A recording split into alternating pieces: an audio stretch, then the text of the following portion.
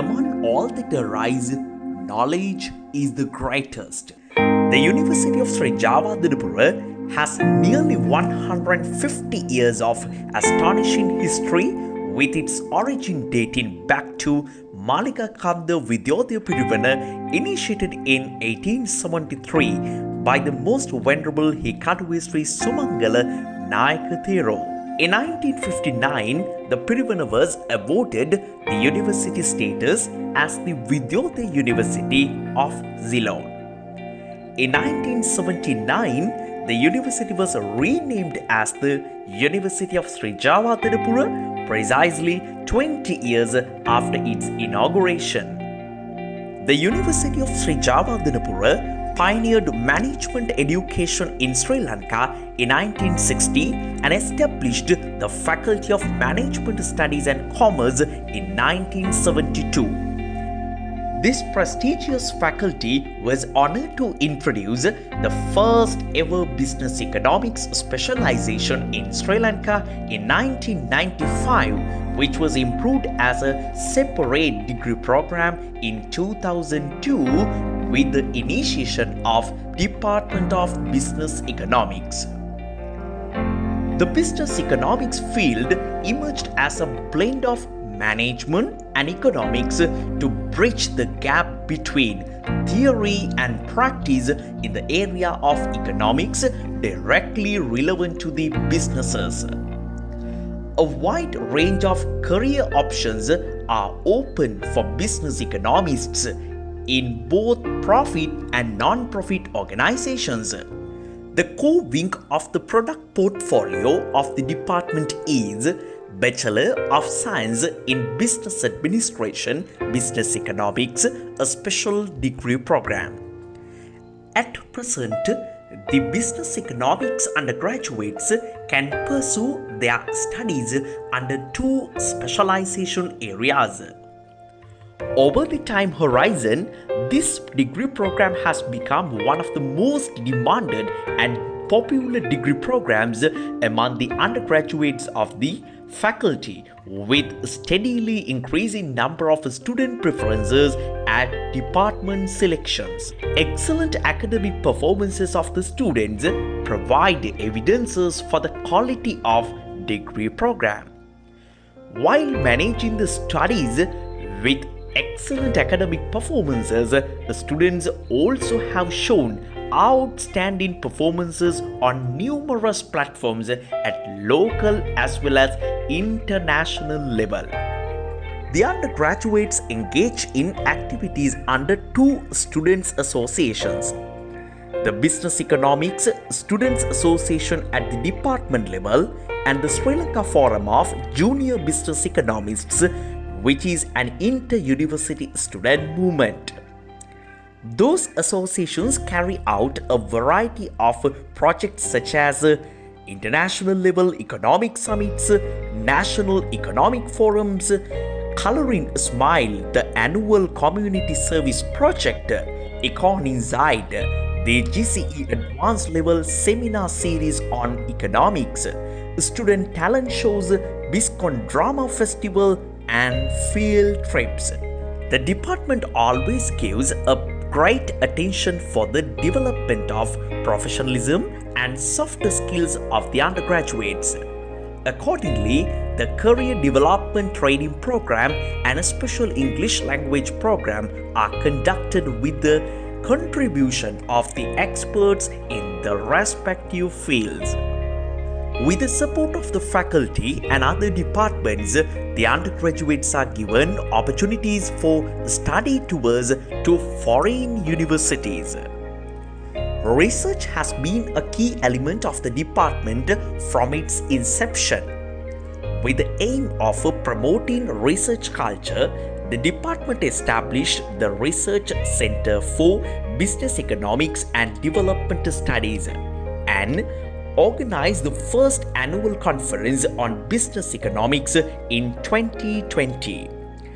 A wide range of corporate and public sector organizations have worked closely with the department.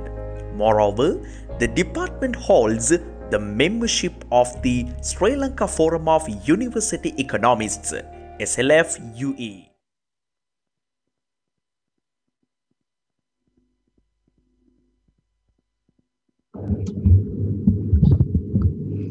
A very good evening. Very good evening to all of you, ladies and gentlemen.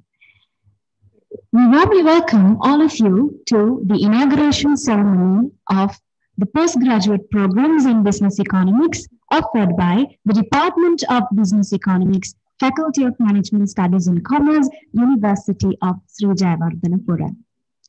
Now, as we all know, we have been living for almost over a year now with a new normal. We have to live with a pandemic and the way of walking, talking, interacting, running the economy basically has changed by a great deal.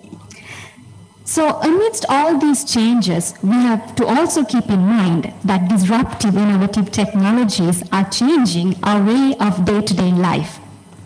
So, although we cannot wait until things are 100% back to normal because we have been required to accept this as our new normal and to continue with our day to day lives, although things are not ideal in every way within the country, we, as a pioneering institution for higher education in Sri Lanka, believe that student interest is paramount and above everything and anything, which is why we have geared up today to commence your educational activities to provide the best quality education that you deserve in order to continue your future educational journeys. Because tackling challenges in creative and innovative ways has always been in the DNA of us at University of Sri Jayewardenepura.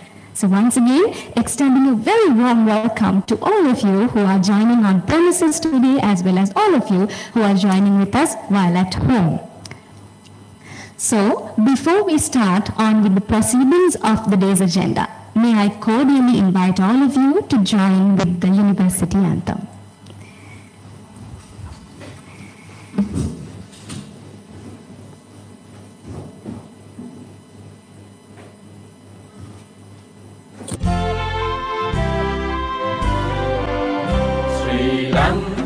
පින්වර රන්දිරණි ශ්‍රීනිවාස වූ මහ අගනගරේ.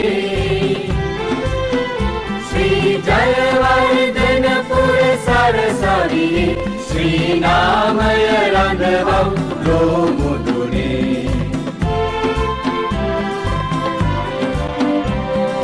හික්කඩුවේ සිරි සුමගුල් සමිඳුන්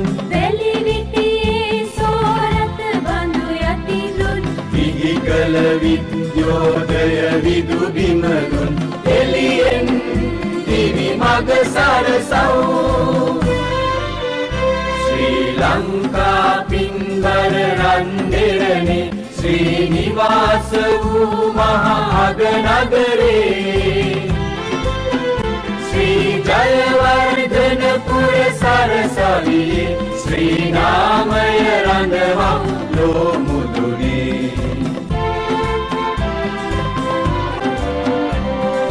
අයුක්තියේදී විවාදශීලී. අසත්‍යයේදී විචාරශීලී. වියත් සභාමැද සමාජශීලී. වියතුන් නීදය පොබයව්. ශ්‍රී ලංකා පින්බර රන්දෙරනේ ශ්‍රීනිවාස වූ මහාගනගරේ ජයවර්ධනපුර සරසවී ශ්‍රීනාමය රඳවම් ලෝමුදුනේ විද්‍යා උත්පතතන් සෙත්තා විද්‍යා උත්පතතන් සෙත්තා විද්‍යා උත්පතතන් සෙත්තා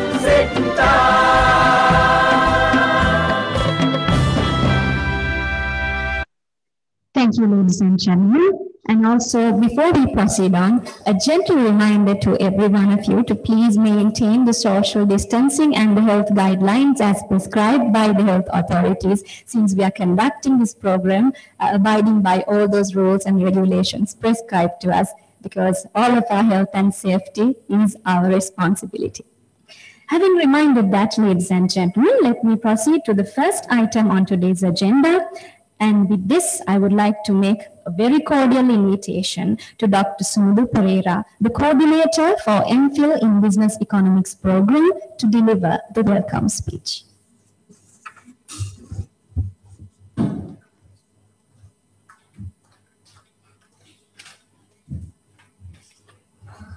Very good uh, evening to all of you. So on behalf of the Department of Business Economics, so it is with great pleasure that I extend this warm welcome to all of you gathered here today. This is the second inauguration ceremony of the postgraduate programs that the department have introduced to uh, one year ago. We launched two programs in year 2020 that is the MPhil and the MBE in Business Economics. Today, we are launching another two postgraduate degree programs. They are postgraduate diploma and MSc in Business Economics. Over the span of a year, we have seen a tremendous growth in the demand for the postgraduate programs in business economics, mainly owing to the recognition of the field of study. Today, we are happy to announce that the student enrollment numbers have doubled in our programs. Having said that, let me welcome our distinguished guests. First and foremost, our keynote speaker, Deshamanya Emeritus Professor, W.D. Lakshman, the Governor of the Central Bank of Sri Lanka. We are honored to have him here today as our keynote speaker of this prestigious event. Secondly, uh, our special speaker, Senior Professor Sampath Amaratunge, the chairman of the University Grant Commission of Sri Lanka, and also the professor chair of the Business Economics Department. So uh, we warmly welcome you here today, sir, and it has added much value to our event. We, as a department and the faculty, strongly believe that the industry are of utmost importance and hence we have a very special guest representing the corporate sector. Mr. Jafferjee, CEO of JB Securities, we warmly welcome you to this inauguration ceremony. It is also with great honor that I welcome the spearhead leadership of our university, Vice Chancellor, Senior Professor Sudantha Liyanage, let me also not forget our pillars of strength, Professor P.D. Nimal, Dean of the Faculty of Management Studies and Commerce, Senior Professor M.M. Pathmalal, Dean of the Faculty of Graduate Studies. Further, I take the honor to welcome the Head of Department of Business Economics, uh, Dr. Dinesh Asirwadana, Senior Professors, Professors, senior lecturers, and all other academics and non-academics members of the faculty. Last but not least, our dearest candidates of the postgraduate programs.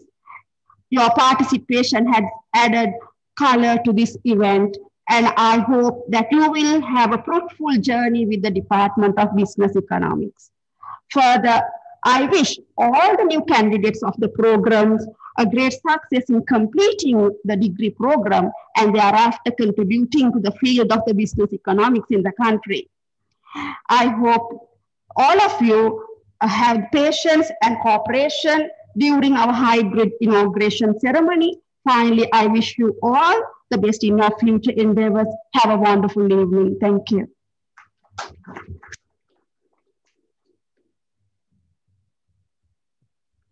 Thank you very much, Dr. Sumudu.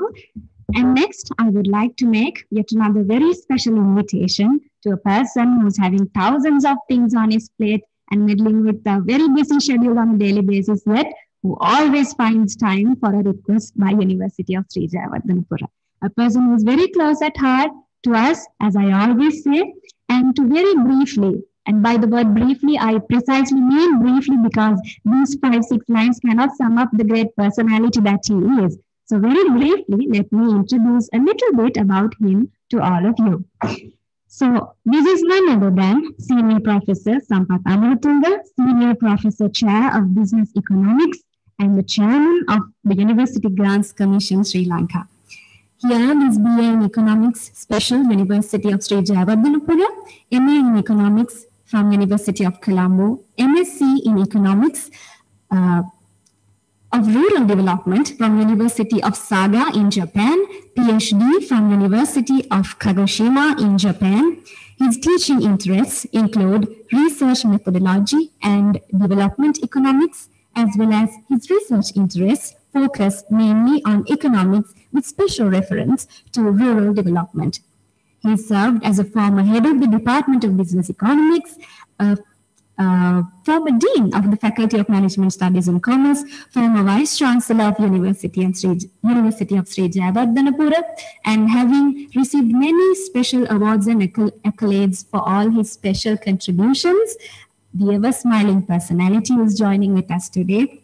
As I would like to call Sampath sir, I would like to most cordially invite you to take over.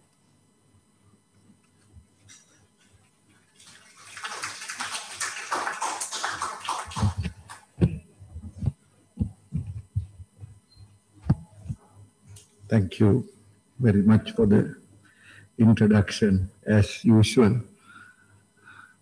Uh, Dean of the Faculty, Professor Nimal, Head of the Department, Dr. Dinesh Asirivardhana, Coordinator of this prestige programs, postgraduate programs, Dr. Sumudu Pereira. We have a lot of uh, staff members here. Dr. Sriyalata, Professor Sriyalata, uh, Dr. Sriyalata, Dr. Janak, and several other young, energetic staff of uh, business economics. Uh, we have come a long way uh, as a department. We started in 1993 as a part of uh, business administration and we are the pioneers of this name, business economics. We have introduced this to this country. At that time, no one have heard about the area of business economics, but we have offered a degree within the Department of uh, Business Administration. And we, when we uh, endorse BISCON, nobody knows. Now only everyone knows. When University of Colombo followed by us and started a new department there as well. So we have come a long way. If you just Google and see Harvard, there you can find PhD in business economics, but not still everywhere you cannot find a correct, good, uh, effective definition still because this area is not uh, so popular. But within the context of this, we are very popular because of our output. Why our output is good, the process is excellent. Whoever the input, we don't mind. We don't mind the process is excellent. As the chairman Toyota once said, we have ordinary people, but systems are extraordinary. So same here, same here, the process guaranteed, quality assured, and the output is excellent. So there is a way.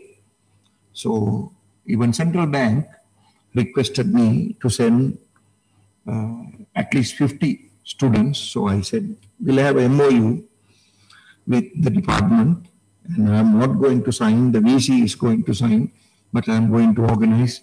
I hope I have uh, already informed the department. And even though I'm there, uh, so my, my heart is here. That is why I came. So today in the morning, Professor Nimal, I had a meeting at KDU. Then I went to UGC for half an hour. Then again I went to Isurupaya Battaramulla. And again I came and stayed another half an hour.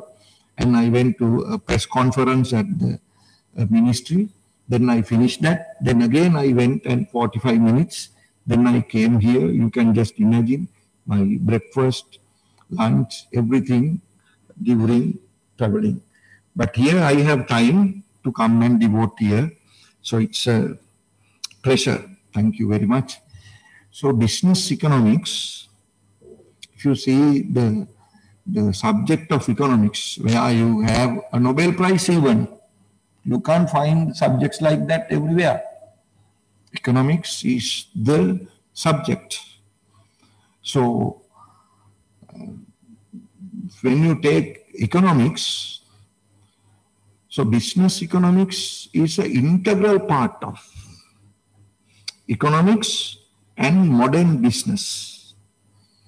Modern business. So where you have technology, data processing, data management, data analytics. So everything coming under this modern part. We have this uh, classical economic part as well and this modern scenario as well. So if you take uh, economics, simply we have two analytical tools, micro and macro. So this business economics coming more under microeconomics. The main reason is we consider the corporate sector. Even though we teach macro, macroeconomics, databases, big data, analytics, we are more focused on organizations. So in economics, especially in microeconomics, we teach a topic called the firm. That is the topic that we describe management. When you look at the firm, then you get marketing of the firm, then you have to manage or organizational uh, behavior, then other areas you get in this small firm. Then perfect competition, we all know thousands of sellers and buyers are there and we produce homogeneous goods. So no advertising. If you advertise, it's an additional burden that will add to your cost. No point of advertising because everybody produce homogeneous and perfect knowledge, everything. It's like this uh, globalization. And monopoly, you have only one firm where you don't have any competition. So what is important is monopolistic competition. Why? You have a good number of uh, firms where each other do this competition. Everybody is trying to find a uniqueness, some kind of uniqueness, maybe packaging, maybe inside the product, or maybe by advertising, right? So by print media or any other way, they are trying to find a unique one. Sometimes maybe the product is homogeneous, but they are trying to make some kind of a difference. So why this is important, the strategic management starts here, strategic management. This is the beginning of strategic management. If you, if you study game theory, right, if you study game theory, it's like a game of chess. When you have two firms, we, we, we assume we are working with two firms and uh, uh, using a chessboard. Once you move one uh, single digit to another place, that says you have changed your policies. So accordingly, other need to change. That is strategics. Otherwise, you will be failed. But then only you get this myopia situation right? So, so many things, but I am just explaining the umbrella term of economics and the, the term of business economics, how we are going to suit to uh, corporate world. So, uh, financial, then organizational, that is behavioral, uh, HR, and uh, uh, then the latest to include is environmental. Right? We, we don't go that level uh, at the bachelor's level. I think we have to introduce uh, environmental science also to business economics because these green concepts, so many things are now coming on and they are going to list down this under business economics. And some says this is purely uh, uh, applied economics branch. So anyway, in economics, we have 100 branches. So, so this is the way how we sit and uh, uh, design our degree programs. And the output is uh, no doubt there is a way. Otherwise, we never bring people uh, to boardroom like this. And uh, governor is very soon come online. Uh, my guru, I would say, uh, who taught me uh, historical, philosophical foundations of economic thought. He taught me up to Adam Smith. We teach everywhere from Adam Smith. He taught us to Adam Smith. So the meaning is even before Adam Smith, so you can find good economists. So they have uh, uh, produced so many things, and then only people like Hicks, uh, who introduce uh, indifference curves like production theory, so many things develop. So this is the place, Faculty of Management Studies and Commerce. There is no other place. We have started this uh, subject, the, the area, uh, Management Studies and Commerce, even before IIM. IIM is Indian Institute of Management. We have given MBAs in 1960s and PIM was developed by us, us in the sense this faculty. It's a property of this, but anyway, it's highly independent and uh, working in a brilliant level in the society today. So we have developed in order to uh, give uh, our MBAs, PhD through the postgraduate institute. But anyway, we also start started the same thing here. So, so you are with uh, safe hands. Uh, thank you very much, uh, Dr. Dinisha, Dr. Sumudu. So I am supervising. So somehow I uh, log and uh, come for discussions, but I don't come for parties. I have missed your wedding Saturday. Yes, what to do? But for other academic matters, personally, somehow I used to come. So thank you very much and hope to have a very good program. Dr. Sumudu said this time uh, the demand uh, doubled uh, for our programs. Uh, not only that, the biggest challenge is undergraduate.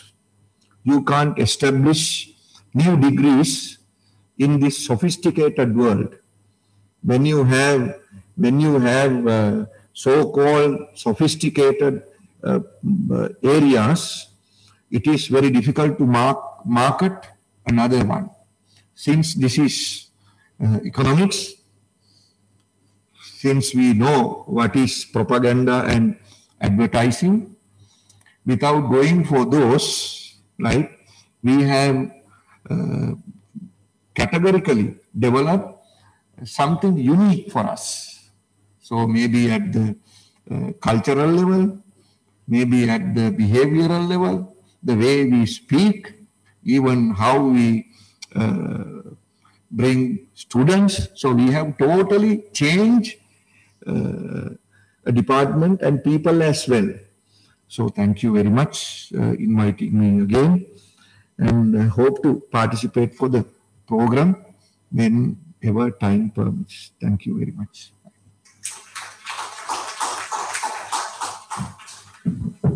Uh, thank you, sir. And may I please invite you to please accept a small token of appreciation which we have uh, prepared for you. Once again, uh, thanks a lot, sir, for joining with us uh, at home. It feels great to have you back. So the least what we can do is to uh, offer you with this token of appreciation for everything you have done. To do the honors, may I cordially invite the Dean of the Faculty of Management Studies and Commerce, Professor P.D. Nimal.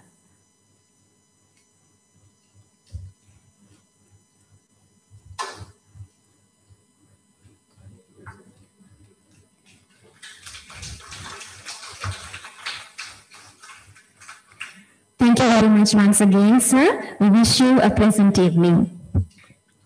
And with that, I would also like to make another cordial invitation to the pioneer of the Faculty of Management Studies and Commerce, who is none other than the Dean of the faculty, Professor P.D. Nimal. Sir, my cordial invitation goes out to you to address the gathering.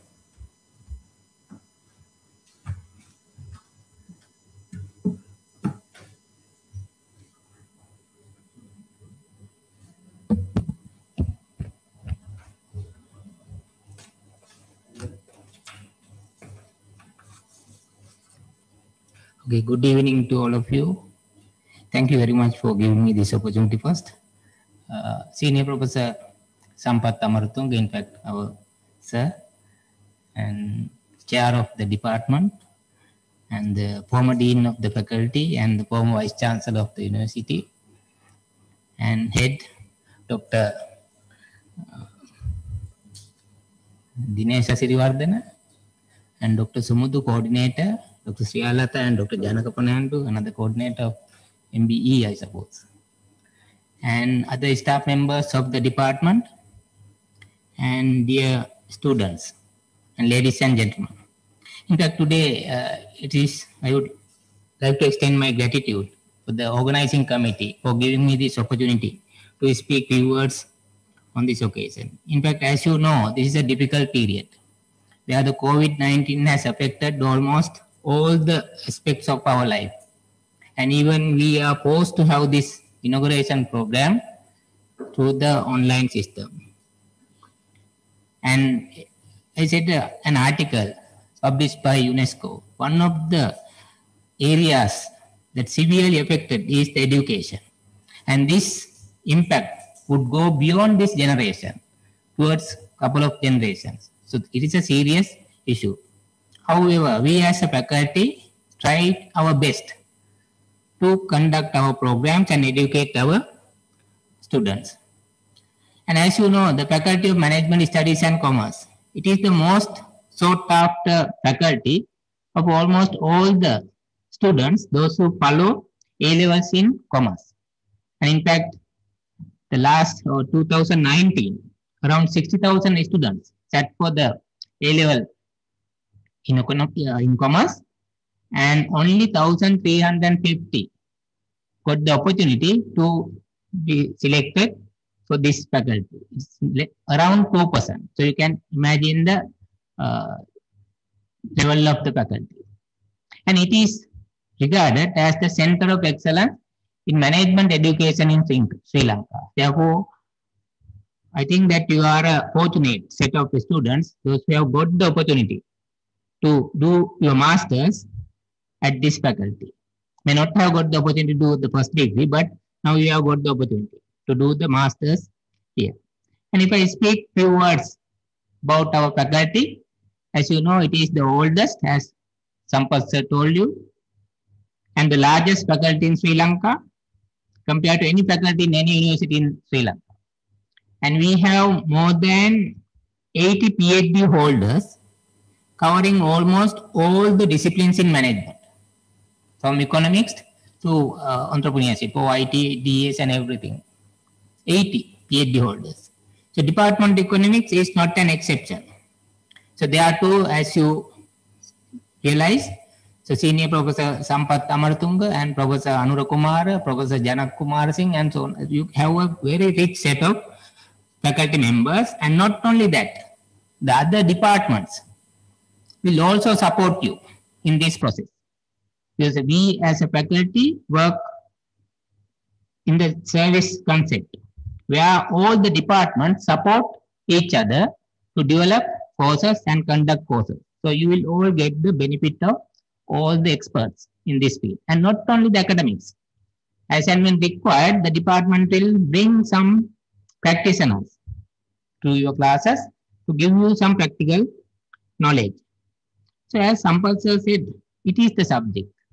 The economics is the subject. So you can talk about any management subject, maybe say for example, HRM, marketing, IT, BS, entrepreneurship, finance, accounting, whatever it is, everything is branches of economics. Because the if, if I am correct, the economics is because of the scarcity.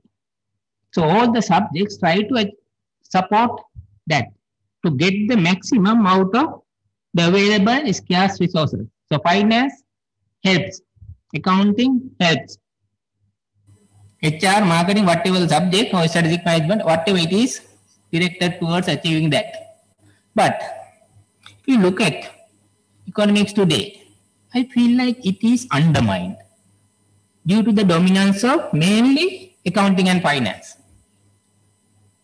Is it a good or bad is a question, but it is due to couple of reasons.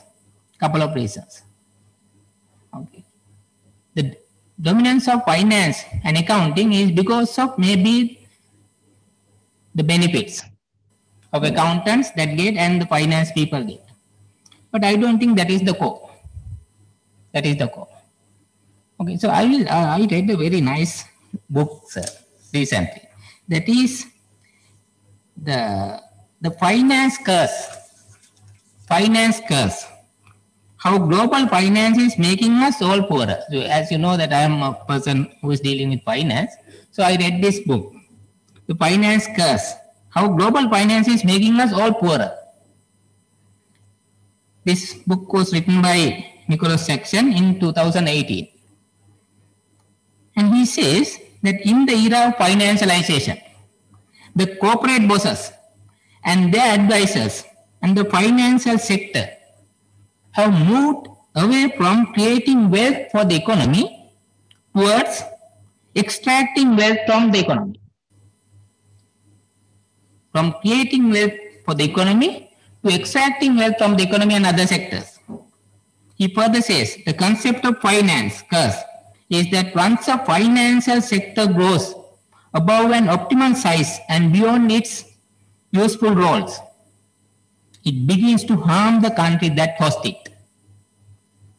Finance turns away from its traditional role of serving society and creating wealth and move towards offering more profitable activities to extract wealth from other sectors or parts of the economy. It also becomes politically powerful, start shaping laws, rules, and even the society. The consequences include low economic growth, inefficient markets, damage to public services, worse corruption, the hollowing out or dig out of alternate economic sectors, and widespread damage to the democracy and society. And even it increases the inequality of income. So you can see how financialization have affected to make the world worse or poor. So that is just to give you some ideas. I feel like the economics is undermined these days. So it is a good initiative made by this department to introduce. Now it is again it is business economics. Yes, you try to hide the economics. Eh, say business economics. Now that is getting popular. However, it, it is the core. It is the core. So you try to develop economics because that is the core and you do masters as i believe Now you already might be employed. So first if your, your CV is important to enter to an organization. But now you are doing a master's not to get an opportunity or em employment opportunity. It is to improve your quality. So take this as a challenge. It will be difficult time. You will have a difficult time with the staff and the faculty definitely. But remember, try to use it to your maximum benefit and improve your knowledge. Remember, nobody will ask about your qualification once you enter into an organization. Nobody will ask about your qualification. They will judge you on your performance. So this program can be used definitely to improve your quality of work, efficiency and effectiveness. So try to get the maximum. I hope that everybody will do the job and get the maximum and the experts are there. So you will be supported throughout this program and even the faculty will help you and try to get the maximum and enjoy. Stay in the university. Probably you may stay depending on your course, one year or two years. So try to try to complete it within the given or stipulated time. It will be a difficult task, but try to do it and get the maximum and enjoy. And definitely, I can guarantee you, it will add value to your both work life and personal life. Thank you very much and wish you all the best.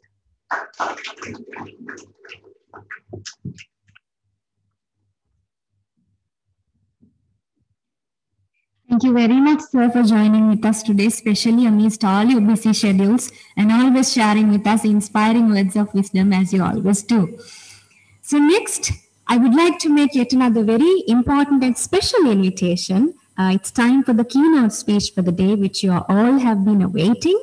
Uh, I would like to mention that uh, this is none other than Deshamanya Professor Emeritus W.D. Lakshman, the Governor of the Central Bank of Sri Lanka, who is joining with us at the moment virtually.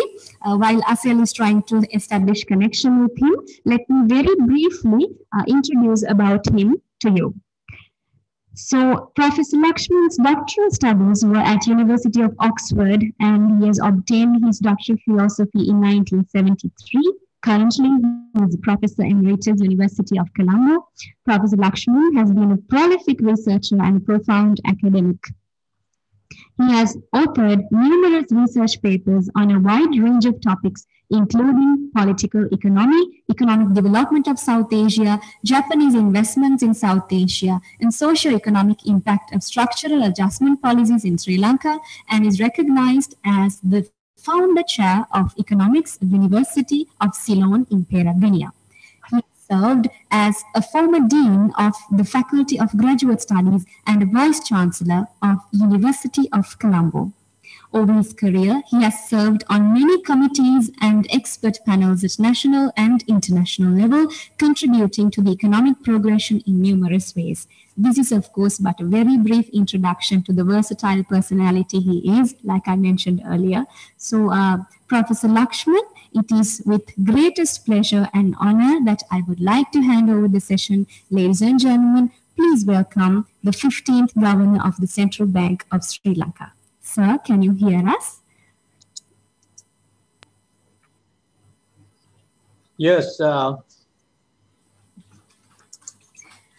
let me begin by thanking for uh, the very generous introduction uh, given to the audience.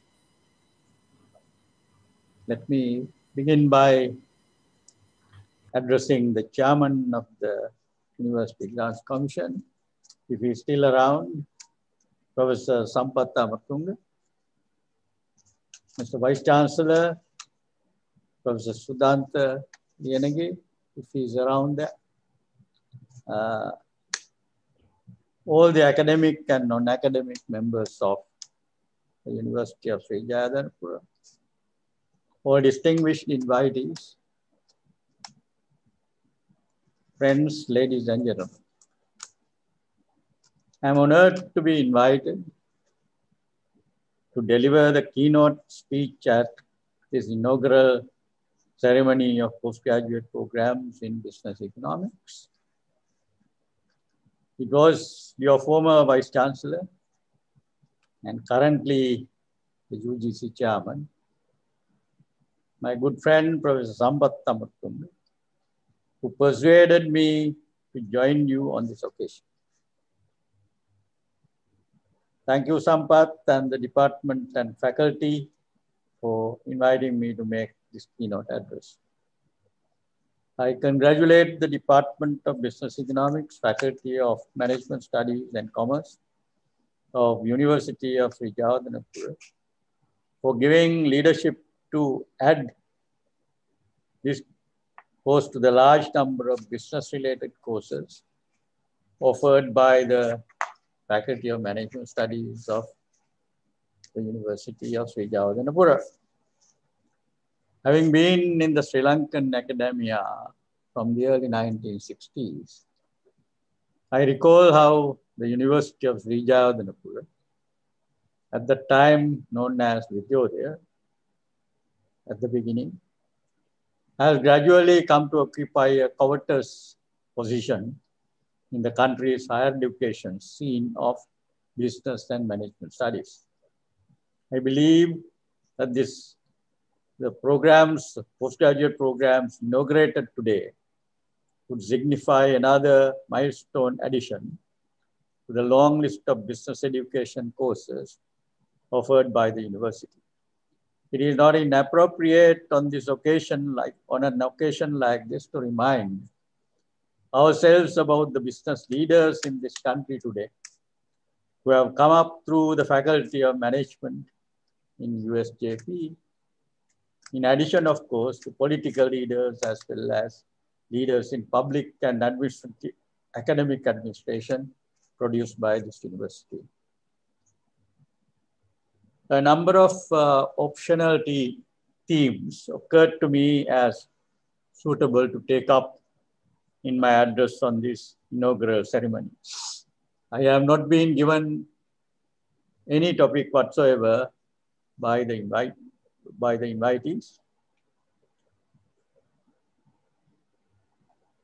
by the uh, department or the faculty.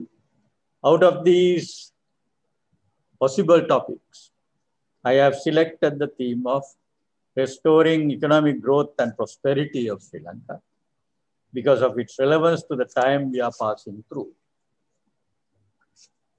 We have gone through the year 2020, the year that will be added to the history of mankind as COVID-19 year, with widespread experiences of uh, horrendous impact, which the coronavirus pandemic has had over humanity throughout the world.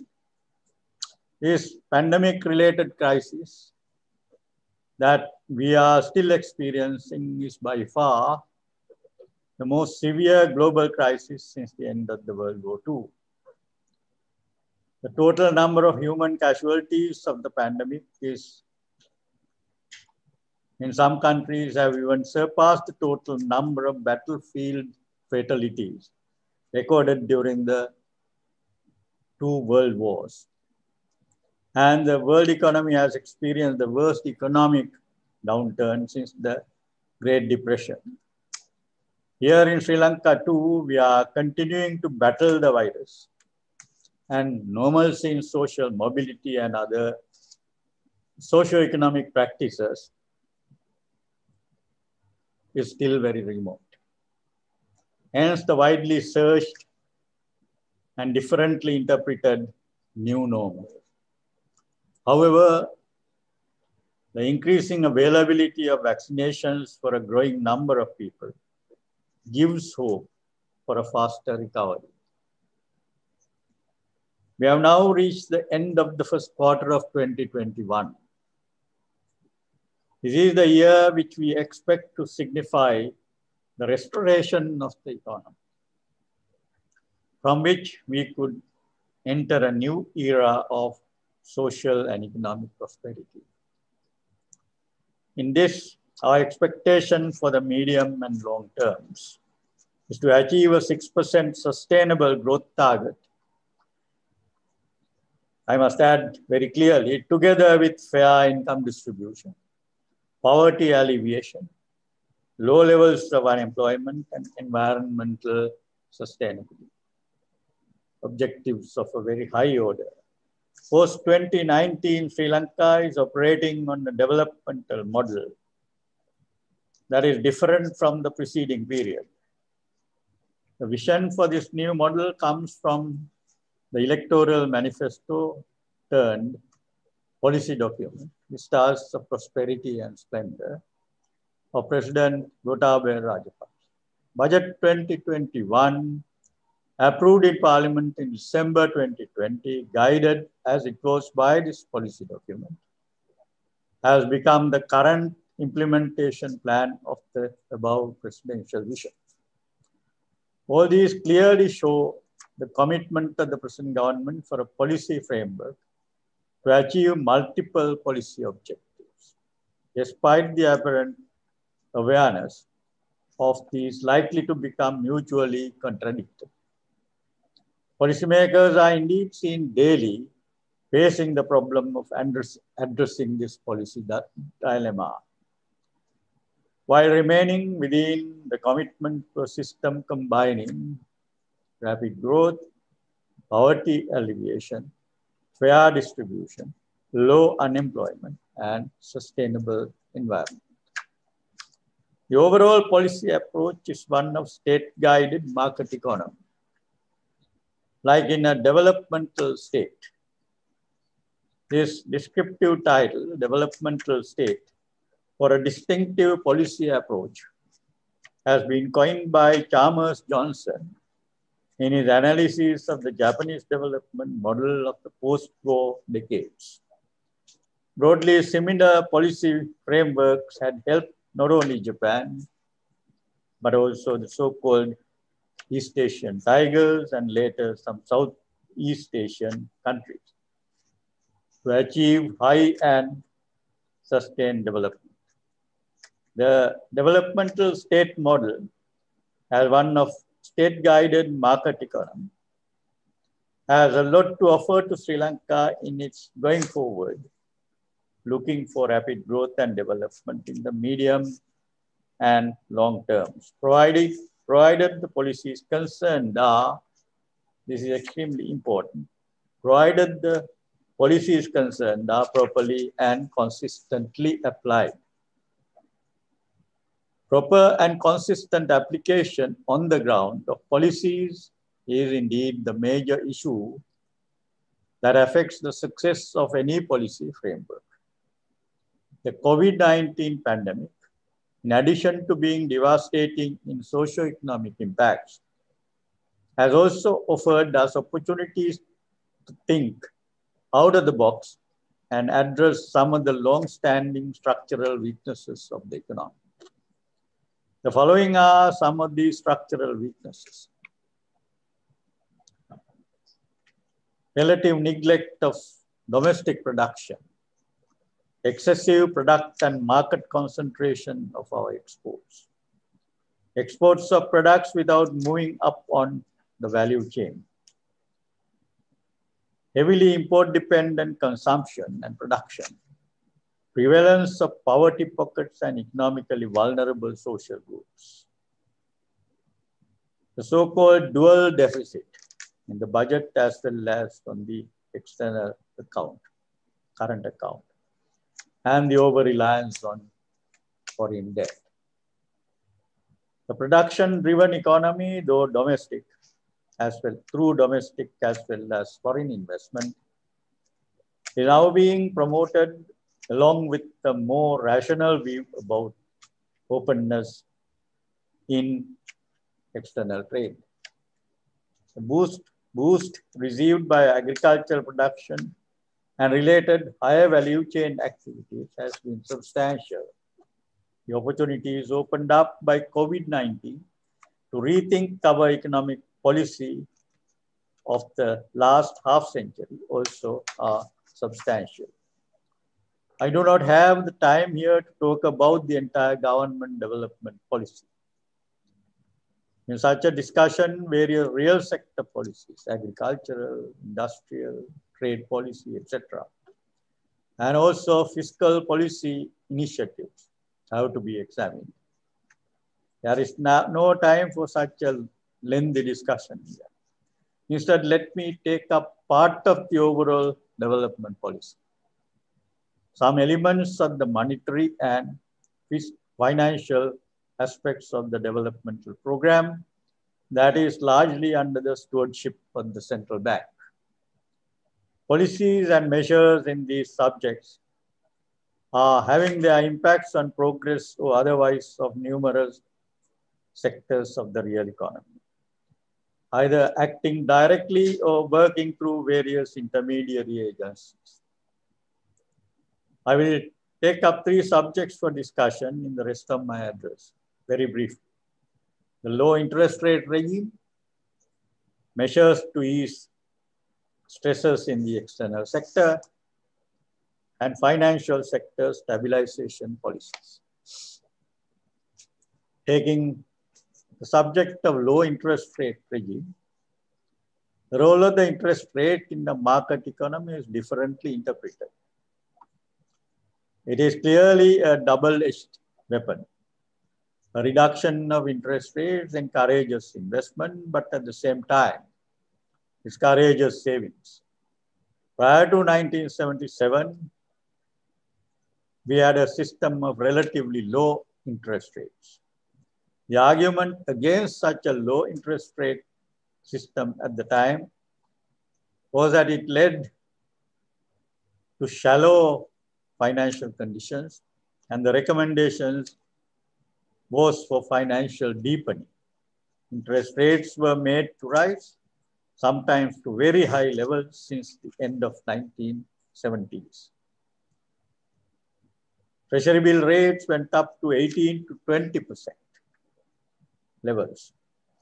Upper margin of lending rate ranges, lending rate ranges rose to as high levels as 30%.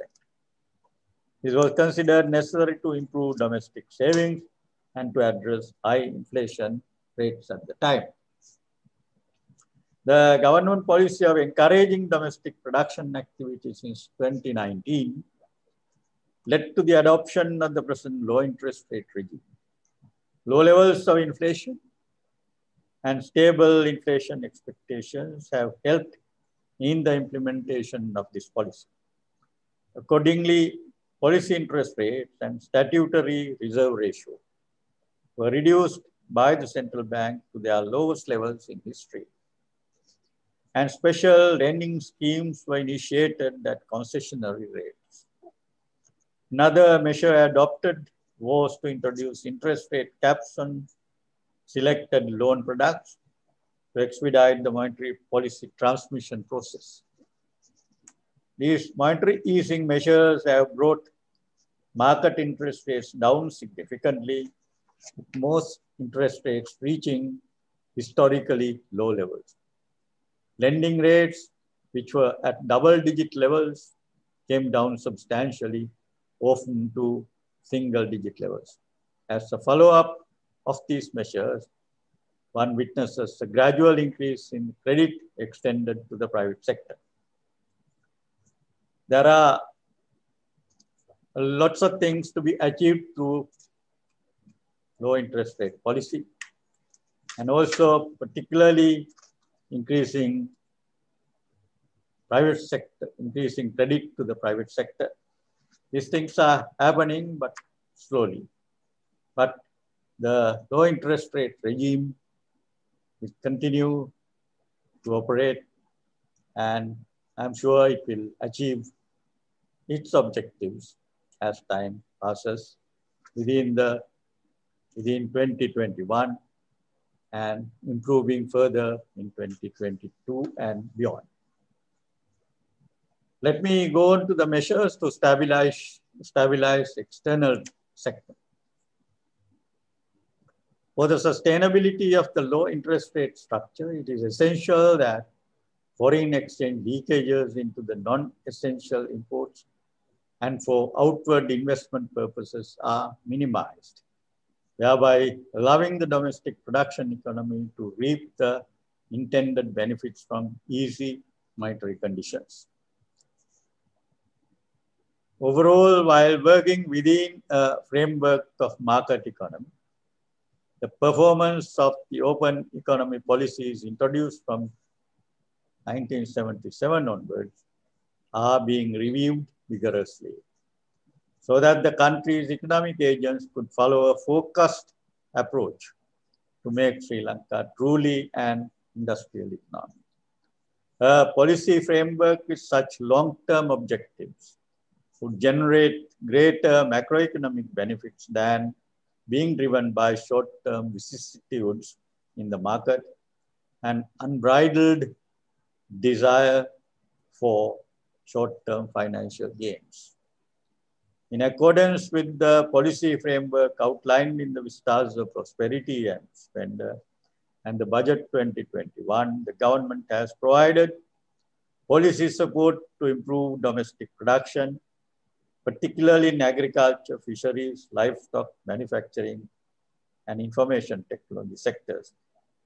Domestic supply improvements in turn would enhance Sri Lanka's external competitiveness and export potential, as well as actual export earnings, while also reducing seasonal volatilities in domestic inflation to a great extent. These features of the new economic, macroeconomic policy framework would ensure a coordinated approach to pushing the country onto a rapid growth path and sustain productivity. I'm sorry, sustain prosperity. Such a policy to operate without hiccups. There should be careful planning and stabilization of the external sector. What happens to trade, current account, and other balances in the country's balance of payments? An external reserve position, and finally, on what happens to the rate of exchange of the country. All depend on overall external inflows and outflows and their composition. These would include receipts and payments on account of goods and services, income account inflows and outflows, primary and secondary income, financial account inflows and outflows, etc. The sum of these netting out credits and debit theoretically is the addition or reduction in external reserves. The volume of reserves in an economy open to the world takes an extremely important position in policy terms. In the meantime, several measures have been adopted to preserve or increase the reserve position. These would cover the whole gamut of policies adopted to increase inflows and to reduce outflows. It is not correct to take merely the financial account flows of the BOP. the latter, that is investments, loans, loan repayments, various currency exchange arrangements called swaps are what most people talk about. This may be because these are amenable to policy action in the short term. Arrangements are in place to roll over previously taken loans, new loans taken from multilateral agencies, foreign banks, and market borrowings, swap arrangements, and special deposit account scheme. Since the pandemic, we encountered an extremely challenging external environment and therefore strict policy measures were introduced to rationalize on non-essential merchandise imports while encouraging foreign exchange flows into the country. These measures helped contain the pressure on the exchange rate without depleting foreign reserves. Although the argument that market forces must be given a relatively free hand in the determination of the exchange rate and foreign exchange flows, this argument is widely heard. Such market fundamentalism could hardly coexist with the overall developmental framework policy, developmental state framework of policy. Market manipulations by a few for undue personal gain during difficult times at the expense of the masses do often happen. The exchange rate acts as a shock absorber to alleviate the impact of external developments on the domestic economy. But the central bank has to, within the current policy framework, intervene in the domestic foreign exchange market to reduce undue volatilities in the exchange rate, as well as to build up international reserves as appropriate. To maintain external reserves at, the, at a stable level, together with exchange rate stability within a narrow range, is indeed difficult in the present situation of limited net inflows into the country. All available human and other resources are being marshaled to achieve this necessary but difficult to achieve dual objectives. The, my last topic for discussion this evening is the financial sector stabilization policies. Year 2020 has been, and this year is going to be, that is 2021 is going to be extremely difficult times. The first wave COVID-19 began in 2020, March 2020, and went strong until about June that year. The revival during third quarter was subsequently interrupted in the fourth quarter of 2020 with the second wave of COVID-19. To help protect livelihoods and businesses, the government and the central bank had to step in with a series of measures such as handouts, moratoria, liquidity support, low interest loans. Loans to the government from central bank through various instruments went a long way to provide the financial resources to meet the government's anti-COVID-19 expenses. All these measures addressing issues faced by the general public have worked through banks and other regulated financial institutions. However, we should not forget the fact that these extraordinary measures have affected the bottom lines of banks and financial institutions. The regulator was concerned about this. Various measures were implemented to monitor, regulate, and supervise banks and financial institutions to ensure their resilience and robustness, while also introducing measures to ease their burden. These included relaxation of existing regulatory requirements, and maintenance of large volumes of liquidity in the market. These were challenges before the central bank to be flexible as well as being firm and allowing banks and financial institutions to see out of the box solutions while being stable were the needs of the hour. It is encouraging that banks anyway remain strong. The lockdown period provided us the opportunity to further promote non-cash payment methods and electronic banking practices as demand for them increased during that period. Sri Lanka was fortunate that the necessary infrastructure and the regulatory framework was already in place when the pandemic hit the economy. So that most banking transactions could be conducted without much disruption even during strict lockdown days. So there is the, anyway, the challenge associated with novel practices and systems for strengthening the regulatory system to safeguard against emerging associated risks. Before concluding, let me reiterate that despite its devastating impacts, the pandemic has also given us unique opportunities to change, redirect our strategies and thinking patterns. It is important to take this opportunity to address long-standing structural issues of our economy. The government has conveyed its commitment towards a production-oriented economy via various policy measures to promote shared growth.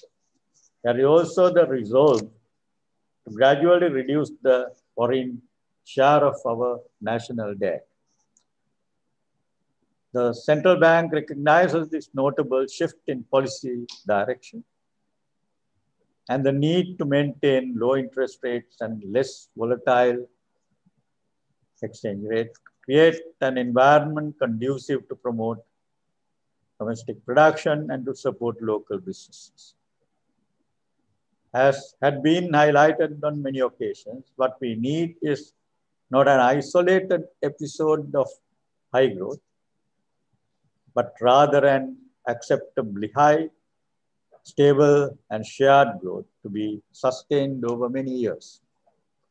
This can only be achieved by continuously improving productivity, by promoting innovation to develop new knowledge, and being vigilant about movements in socioeconomic and politically sensitive indicators like poverty, unequal distribution, and unemployment. Let me conclude by extending my good wishes uh, to all the new students joining the faculty of business, faculty of management and the department of business economics in their in their the in their new postgraduate programs. All the best to everybody and thank you very much.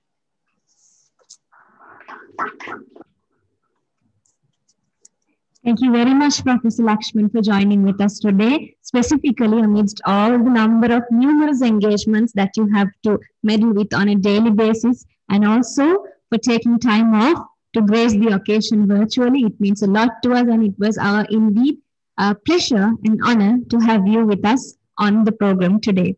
And also, uh, just to make a small note that we have arranged for a special token of appreciation for you, sir, which will be duly delivered to your place of work, which is the least we can do uh, for joining with us today. Uh, thank you very much for sharing uh, those thoughts with us, uh, your words of wisdom as always, sir.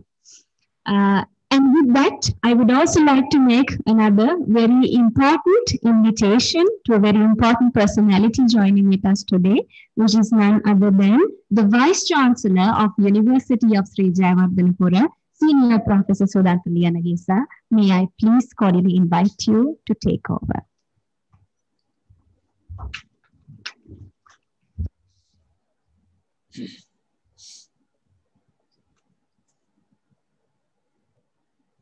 Good evening, everybody. Sorry for uh, delaying uh, attending this particular event because of uh, we had some interviews uh, for the Faculty of Technology. Uh, uh, Professor Emeritus uh, W.D. Lakshman, the Vice uh, Chairman of the University Grant Commission.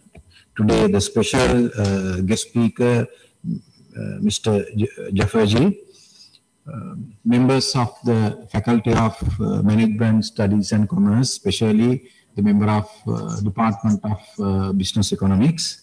I think uh, today is also a very important day for your department because you are enrolling new uh, students for your postgraduate programs. If I am correct, the numbers may be around 90. Where the, all these 90 students are following four uh, types of program. One is the postgraduate diploma, then the master's and MPhil.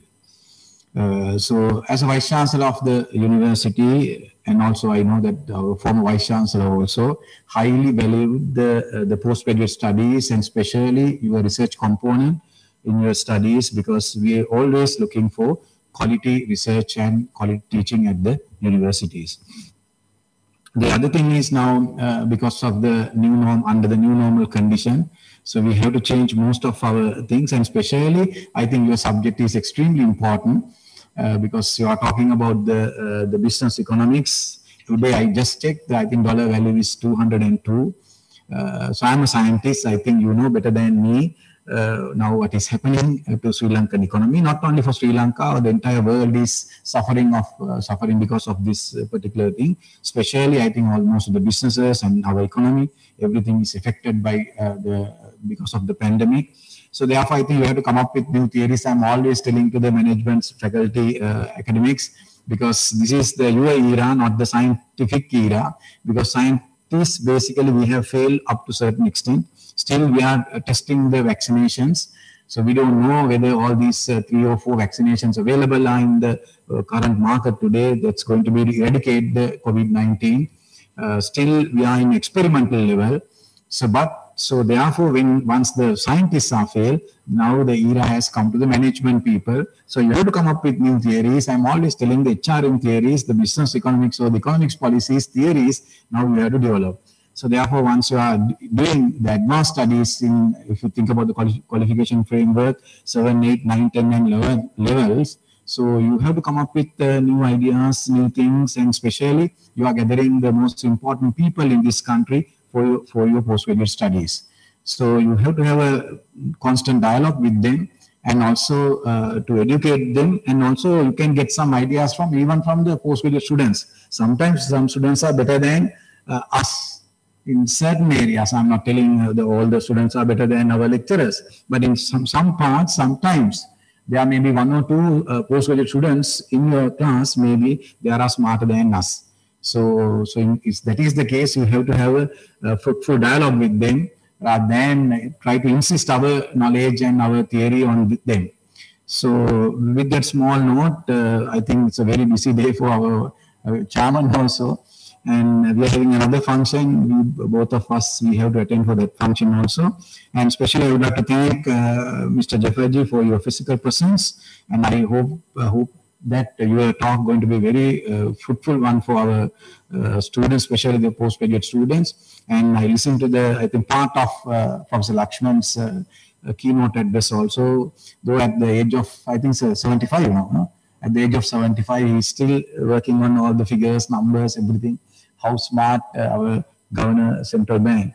So like that, huh?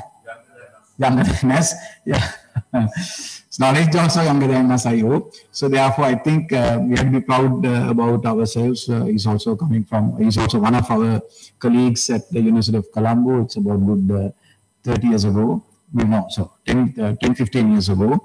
So um, I congratulate all the members of Business Economics Department and also the Faculty of uh, Management Studies and Commerce.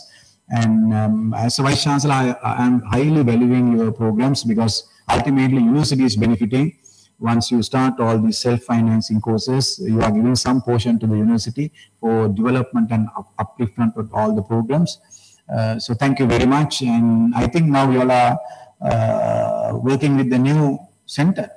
Now I think you all are basically slowly the this faculty is now sir, going away from the Faculty of Graduate Studies. They have recently established a Center for Business Studies. Now everything comes under that center. I hope that now everything comes under that center. We'll see how these managers or the management people are managing these uh, postgraduate programs in future. Thank you very much.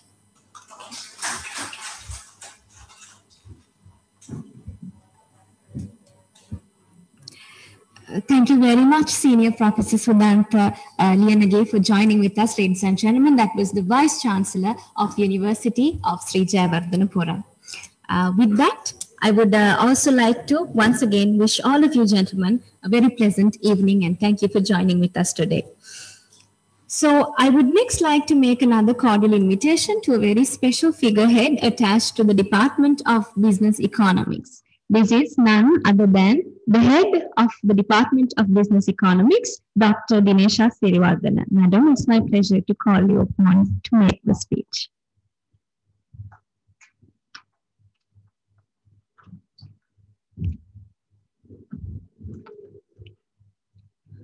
Thank you. Prestigious guests, academic staff members of Department of Business Economics, uh, and my dear students.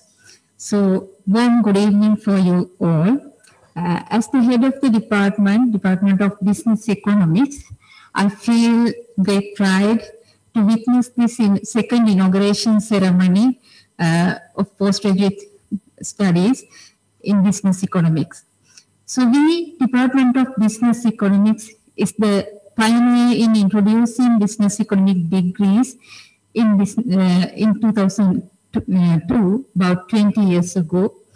Uh, within past two, uh, within past uh, two years uh, of our postgraduate programs, actually uh, within past two decades, uh, our degree programs actually has become one of the most demanded and popular degree programs in the university system. Our unique degree programs in, the our unique degree program is a blend of management and economics uh, discipline that produce a graduate with wide array of job market opportunities. So along with this journey, the introduction of postgraduate degree programs in business economics was one of the substantial milestone of the department.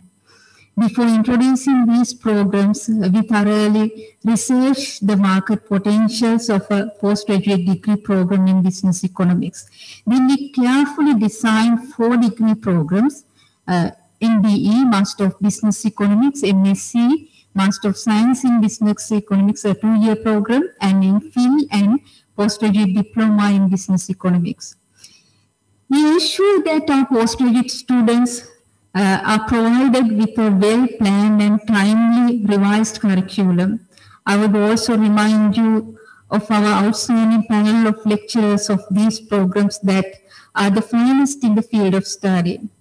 Most of our course units are delivered collaboratively with academics and industrial experts.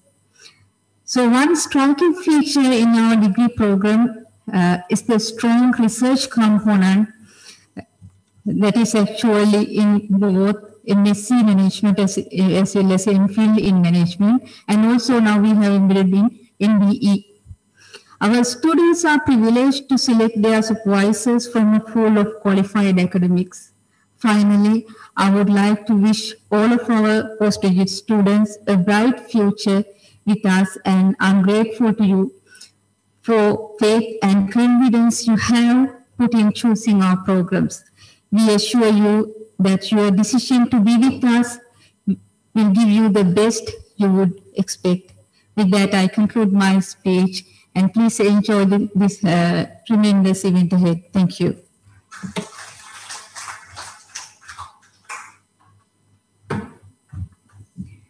Thank you very much, uh, Dr. Dinesha Sirivardhana, the head of the Department of Business Economics, Madam, for sharing your thoughts.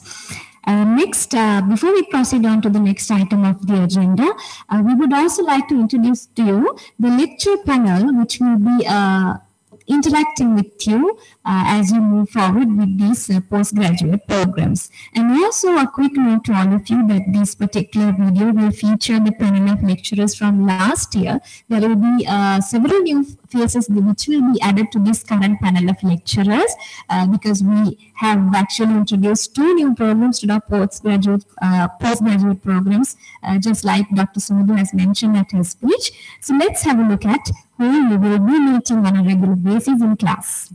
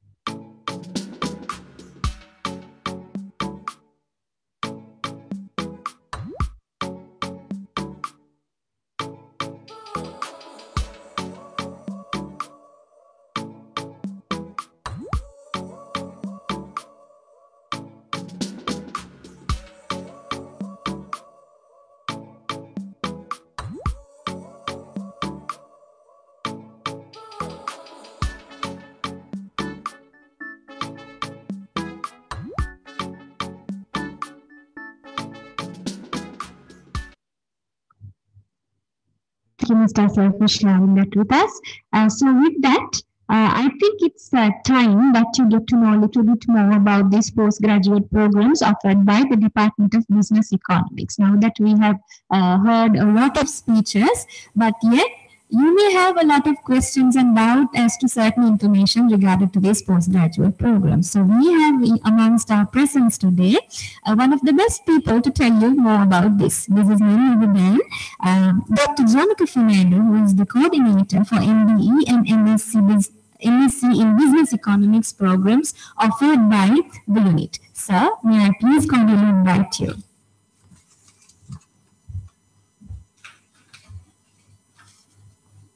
Thank you very much. And uh, uh, Mr. Jafferjee and uh, the colleagues from the department and dear students. I'm not going to take much time because it's it has been a long day for you, like two hours almost. So, but briefly, let me briefly introduce uh, these uh, postgraduate programs. But before that, I thought like taking few minutes to introduce a special special person.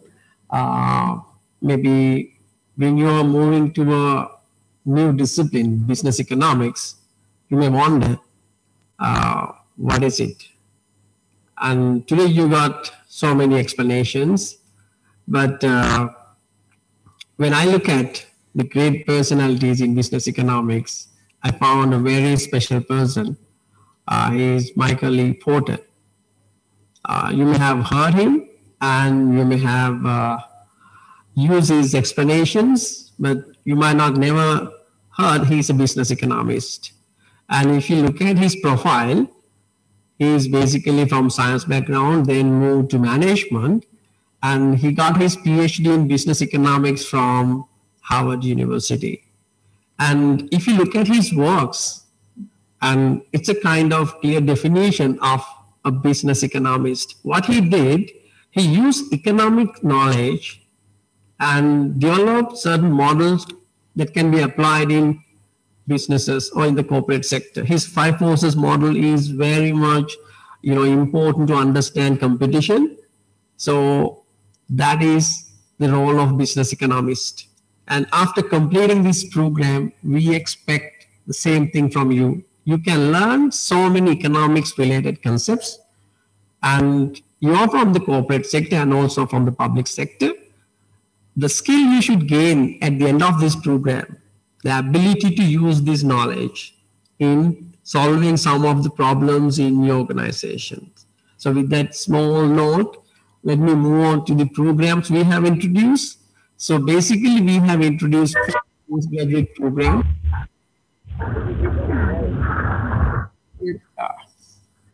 Is it okay?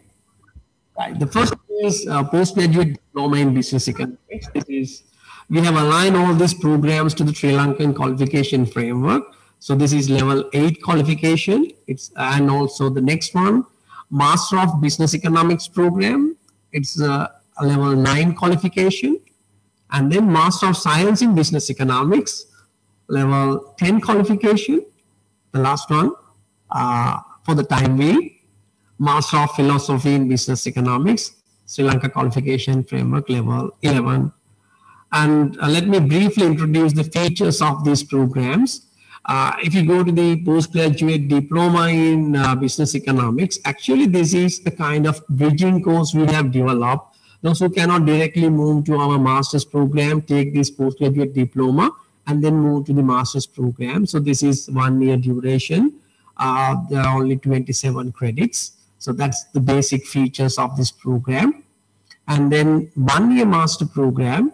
Uh, so we have designed this one year master program looking at the corporate sector, especially employees. Uh, we have seen so many people, they have done uh, other like uh, science, maybe management, uh, they have experience in other disciplines, but when they make decisions, they feel they're lacking economics knowledge. So this is kind of one year program. They, they can quickly get the economics knowledge. So altogether 24 uh, lecture uh, credits. And we have allocated six credits for a research paper. It's not a heavy load. And then uh, this is we have developed as an early exit option for the MSc program. So those who are in the MSc program can, if they think at the end of the first year, no, I cannot continue, they can take the Master of Business Economics program and exit from the program. And the next one, Master of Science in Business Economics. This is MSc, two years program with the research component in the second year. You can see uh, even we have given two options, option A and option B. But the, the in the second year, basically you're doing your research or dissertation. And the first year, uh, it's going to be same as the MBE program. All are taking the same course modules. But in the second year, you have to uh, do a dissertation. Uh, in option B, actually only 15 credits for the dissertation. Uh, but in option A, it's 24 credits. But if you take the first year, as I said earlier, you have to take, uh, you have to complete nearly 10 course units uh, to earn 30 credits. And the final uh, course, that is Master of Philosophy in Business Economics, here actually we are preparing you to proceed you to the PhD program. So this is a two years research program. So basically you are doing a research during your two years, but we facilitate, uh, facilitate in the sense uh, you have to take some important courses to complete your MPhil, like econometrics, research methods, and those are compulsory courses. But other than that, uh, if you think you want to attend any course units offered for master students, for instance, let's say time series econometrics or maybe development economics, you can audit those uh, courses without paying any fee. So we facilitate and also to graduate in this program, you have to publish your findings in a uh, index journal because this is a basically high quality research producing program. So this is very brief introduction. And once we start the program, I can give you a, a detailed introduction, uh, maybe at the beginning of the semester. And another, another component we introduced this year, as Dr. Sumudu explained, last year we launched two programs, Master of Business Economics and Master of philosophy in business economics. This year, we launched postgraduate diploma and master of science in business economics. Uh, in addition to that, from our last year experience, we realized some of the students, uh, they don't have basic economics knowledge. And for some, they have done economics, but long times ago. So to bridge this gap, now we have introduced 32 hour uh, preliminary course series from this year onward. So we are going to start that program from end of this week, right? So those are the, uh, that is the brief introduction to postgraduate programs. And thank you very much.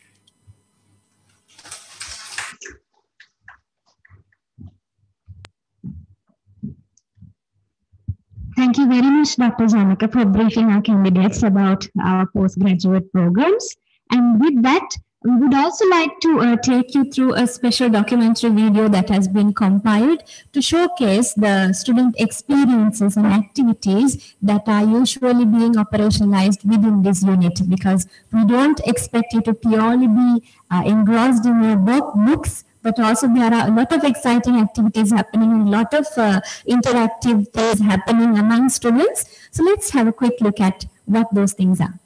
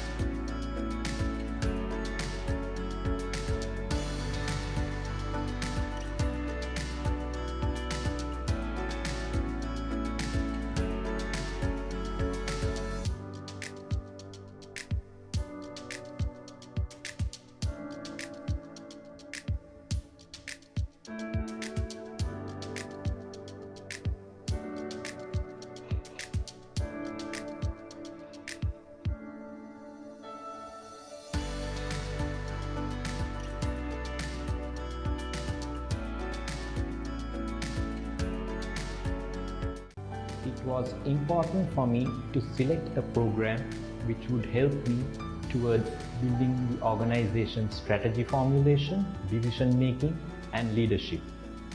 The MBE program at the University of Sri Jayewardenepura has helped me towards achieving this. The way the lectures were conducted were through workshops, seminars, as well as lectures conducted by the lecturers at the university.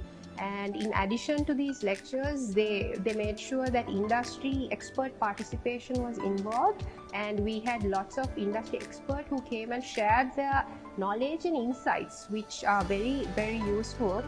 This program creates a respectable value addition for both the academics and industrial personnel. I was lucky to be a part on this very first batch of the program and I only invite you to be a part of this business economics family sheltered by University of Sri Jayewardenepura.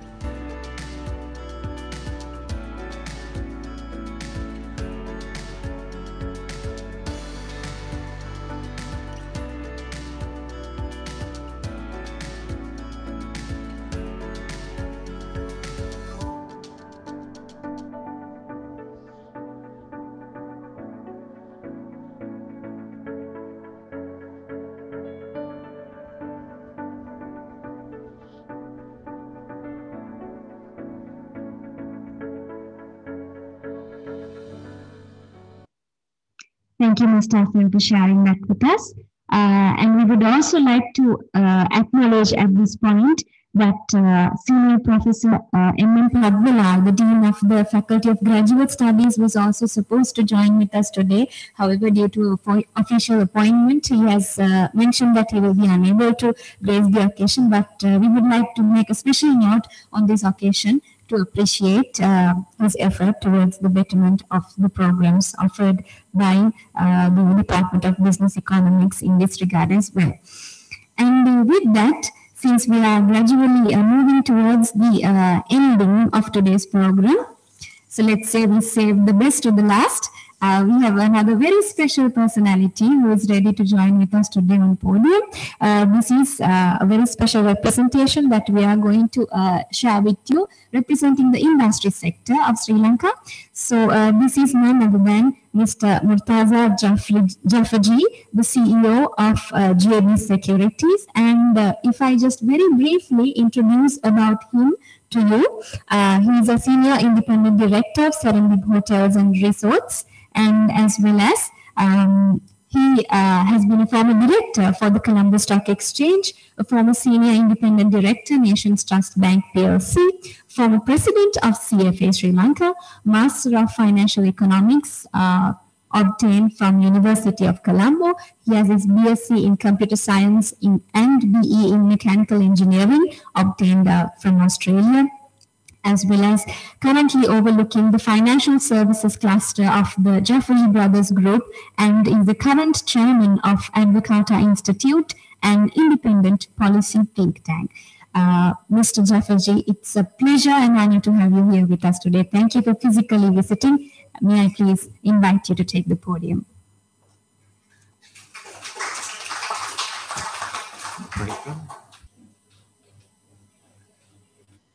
While we are getting ready, uh, good evening, ladies and gentlemen. My name is uh, Murtaza Jafferjee. Uh, Dr. Janaka called me perhaps sometime last week or maybe the week before, requesting me to come today and make a presentation. Um, at a weaker moment, I thought about it and perhaps said yes. Uh, so I'm here in front of you, and perhaps uh, I will spend 20 minutes. I was assigned 15 minutes I asked for five minutes more because I thought it won't be enough time to get my story across. Um, so I, like you, maybe 15 years ago, was also doing an economics uh, program. And I hope my story uh, will resonate a little bit with some of you and create some kind of curiosity and inspiration for your journey during this program. Dr. Janaka uh, spoke about Michael Porter, who happens to be one of my fans also. I follow him. Uh, what is interesting about him, and I think uh, you should also try to have a few uh, lectures on that subject, is um, he used his methodologies of five forces and wrote a book with a cohort on politics. Of course, the focus is on American politics, but the dysfunctionality, I'm sure the theory ain't going to work in Sri Lanka. Uh, but nevertheless, it is an in- interesting uh, thought piece that you may want to follow up. Um, so, can you put the next slide? So there was an introduction of me, but very quickly, uh, what do I do? I overlook the financial services cluster and renewable energy cluster of a company called JB Group. Uh, it's a 73 year old company uh, that is primarily involved in the exports of uh, most Sri Lankan products like tea, manufactured rubber, and apparel. And I, for my name, am a member of the second generating, generation owning family my school was of three schools. I went to Royal College up to grade six. Then I went to a boarding school in India, and then I finished with the Overseas Children's School. And in university, I started studying the sciences. I did engineering and computer science. And then when I came back to Sri Lanka, I got into the brokering business in which I didn't know anything. So I had to study the CFA and then later on, about a decade later, I did the uh, Masters in Financial Economics program at Colombo University. And since I was very interested in really understanding different investment asset classes, um, I did a short program at the University of Singapore in real estate. I also did uh, something on private equity investing at the Indian School of Business, and um, I got involved with government during the last government and had the opportunity to do a focus program at the John F. Kennedy School of Government at Harvard on economic growth. I also sat on the board of the stock exchange two times. Uh, more recently, and once before a decade ago, I sat on Nations Trust Bank board for nine years, and Serendip Hotels. I've just stepped down. And uh, voluntary, I was uh, part of Advocata Institute, which is a free market think tank. Um, I had an involvement in the CFA, and um, I was involved with government, with the Agency for Development, which was something the Prime Minister set up in 2015 to 17 to fast track economic development, and was a member of the Monetary Policy Consultative Committee of the Central Bank for about three years. So I went into this to just show that I had a varied background, and that's my kind of upbringing and interest and today's lesson is about uh, how economics interested me. So, so my motivation to learn economics was basically that uh, I had learned uh, engineering and sciences at university, and I came into a family business. So, with sciences, which is a more theoretical uh, science, that um, you have theories to explain what happens. Uh, so you have systems and you try to, hopefully you try to understand what's going on and be able to predict what's going to happen. But unfortunately, when I joined the business, there was a lot of stuff happening there that I couldn't explain. There was no cause and effect explanation. So that's what piqued my interest to go and understand what I call the physics of business, which I think is economics. Next. So, what did I do to learn economics? Well, I did this thing called the International Baccalaureate during high school, which is equivalent to A levels. And in that, I did economics as a secondary standard level subject. My high level subjects were in sciences. And then even as a teenager, because my father was a businessman, I used to read the Economist, Wall Street Journal, and Business Week. So I had a keen interest in the business world. And when I returned from university, I did the CFA and then the economics program and all these short courses. And um, I felt still I had gaps in my knowledge. So I've continued to learn through online uh, classes, which most cases are free, and especially a lot of courses offered by the IMF's Institute for Capacity Development. Unfortunately, my journey is not complete uh, and it's more a journey, not a destination, and I continue to learn. So let me explain how I've used some of the basic concepts in economics to explain what's happening around me. Let's start with macroeconomics. Um, So when Sri Lanka gained independence, the Sri Lankan rupee to the dollar was four. It's 185 at the end of last year. And I think uh, previous speaker said it's 202 today. So how is it that our currency over what 73 years or 74 years since independence has gone from 4 rupees to 185 rupees or 200 rupees? Next slide. And although uh, the current government says that they are not going to the IMF, and the governor also is not a fan of the IMF, we have been there 16 times before. So in the last 70 years, 42% of the time we have been with the IMF. Uh, we, we are a serial fan of the IMF, although we, we hate the IMF, we keep going back to them. so we have a kind of a love-hate relationship with them. So why is this happening? Uh, why is this happening? Next slide, please. And uh, obviously, if your uh, currency is depreciating to this extent, uh, there is a fundamental problem happening in what's called the current account, which is just an accounting relationship of your external account or what comes in and goes out. And except for a few periods that I have shown in this graph, we have been running current account deficit, some in some years extremely large. And uh, this graph shows you basically what's happening with some of our exports inflows and what's happening with our outflows. And if you if you have a look at our exports, uh, the top part of the area chart is tourism, which has kicked in. It's a service export, but uh, goods exports have not been growing.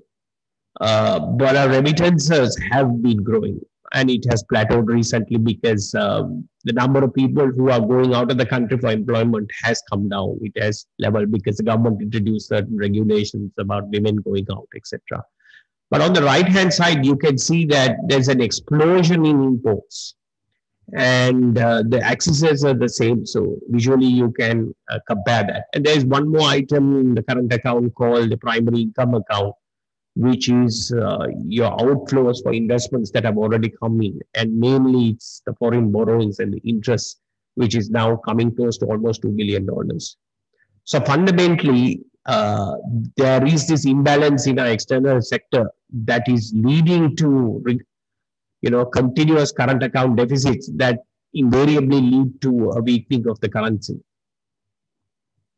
So you know, the balance of payment accounting, uh, this is on the left side is how it is normally shown that you have something called the merchandise trade, which is your goods exports minus imports, and then you have your service exports, service imports, and then you have the current account. Now, I've seen many economic authors, including prominent people, talking about, you know, we need the remittances, which is in the secondary income. These are transfer payments to bridge the trade deficit. Uh, but I look at an alternate way of presenting, and this is an accounting presentation. So even you know, in, normal account, you start with revenue and then you talk about the expense items. But the way this account is presented, uh, you know, there is no particular order to it, and it's just that it's presented this way, and then you believe that the balancing item is at the bottom. But if you look at it from the other side, uh, you can look at inflows and outflows. So when you come to things like um, remittances, should you be asking the question, does remittances lead to a trade deficit? Without saying that remittances bridge the trade deficit. For the simple reason that the Institute of Policy Studies did a analysis, I think some time ago, and they said one in 10 Sri Lankan households uh, get remittances and a remittance household spends 20% more. So you have people asking these questions like, oh, what happens if all our people from the Middle East come back? You know, who's going to fund the trade deficit? It's simply that there'll be less income and therefore the demand will come down. And therefore, perhaps at the margin, the incremental demand is going for discretionary imports and that will stop. So in the economic system, the first lesson is that, you know, there has to be some equilibrium and some people, the economic economists feel that there is only a single point of equilibrium, although many people believe that there probably are multiple equilibria, which you get in many other sciences. Uh, next. So in your course, you will learn this very basic relationship that uh, the economic output is a function of consumption plus investment and consumption and investment here. I have bundled both government consumption and private consumption together with uh, investment both from the private and the government plus what you export minus what you import. So this is a very basic relationship that probably in your first or second class on macroeconomics they will teach you. The output is also related to the consumption plus savings plus taxation. And you put these two relationships together, you will end up with the relationship at the bottom that S minus I, which is the savings minus investment, and what is referred to the savings investment gap is equal to current account. So why I'm showing this relationship here is to try to analyze and see why this current account deficit keeps happening in Sri Lanka. So there is a um, concept called absorption, and that is analogous to spending. So absorption is a function of uh, your consumption plus investment. So the spending is a function of well, discretionary income that you have, which is income minus taxes and credit. So the taxes are determined by fiscal policy, which is how the government spends and taxes. And credit is determined by monetary policy. Next, please. So the question is that um, if the problem is that there is excess absorption in the economy, um, so this is my thesis that it is not a trade problem. That if you look, read the popular press and even if you listen to government policymakers, they seem to frame the problem that uh, we should produce more of what we import in Sri Lanka, or we should export more. But I disagree with that view because, as I showed you in that relationship, that you can either look at that this is a problem with the current account because of the composition of exports and imports, or is there something happening on the left hand side that the concept of absorption, there's excess absorption in the economy, and absorption is a function of taxation and credit uh, and monetary policy. So I asked the question, is it a problem with monetary policy? And if monetary policy is loose, there'll be excess amount of credit expansion in the economy. And this chart shows you what real interest rates have been in the economy. And real interest rates, the concept of a real interest rate is what you are being rewarded to postpone consumption or spending to a future date. So if the real interest rate is very high, if you postpone gratification to a future date, you are being rewarded with a return higher than the inflation rate. And one of my analysts, I got them to plot this, and you can see that uh, the zero axis is there, and most play, uh, most times that we have had very high real interest rates. So over the last decade, and not so much before that, where we had very high inflation, etc., and instability, because that was the, the era of the conflict, civil conflict, you know, where you had certain issues. But ever since the civil conflict ended somewhere in May 2009, we have had fairly tight monetary policy and at times even very high real interest rates, perhaps excessively high. And the reason that they had to do that was that we had a lot of foreign investment into rupee securities. So if you didn't pay a very competitive interest rate, that money would have left the country and created an exchange rate crisis. The next thing is if it is not monetary policy that is the causal factor, is it fiscal policy? And this table, what it shows you is that what the government is saving is, which is the revenue minus recurrent expenditure, and what the current account balance is. And the middle tries to compute what percentage of the current account deficit is due to government savings. And you can see that there are a few years where it has made only a small contribution, but it is a major factor. Uh, it's a major contributor. So in economic speak, it is the dissaving of the government that is leading to these large current account deficits, and it is not the private sector's dissaving. So the root of the problem lies here. Next. So before we delve into why is this happening from the government side, let me introduce you to the concept of something called the primary balance, which is not very familiar with most people. What it simply does, It takes the revenue of the government minus expenditure without interest. And that expenditure is termed primary expenditure. So all expenditure. And the reason why you come up with this concept is this is a good way to evaluate the performance of a government because the interest is what you pay on inherited debt. But if you are going to judge uh, a particular government at any one moment, you have to judge them on the primary balance because they know how much a tax revenue they can get and how much they can spend. Uh, so this chart shows you fiscal deficits going back to 1959. And uh, the blue is the primary balance, right? So revenue minus expenditure. The gray basically is the interest and what has happened is that for 30 years, in the first 30 years in this graph, we were running very large primary deficit, primary balance deficits, right? And subsequent, the subsequent 30 years, actually the deficit has been driven more by interest and not so much the primary deficit. So this debt crisis that we are currently facing, and I've argued this publicly, is something that got created over 70 years this is not something that got created yesterday or five years ago. Of course, it has precipitated due to some policy mistakes, I feel. But, you know, it, there was a common adage that Sri Lanka is always living above its means. And this has been written by this famous economist, Mr. and Mrs. Robinson, who came here in 1957, I think. So, except for two year, uh, four years in our history, uh, our revenue was not enough to pay for our primary expenditure.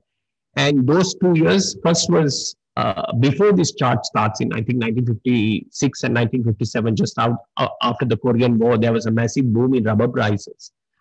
And at that time, there were export taxes.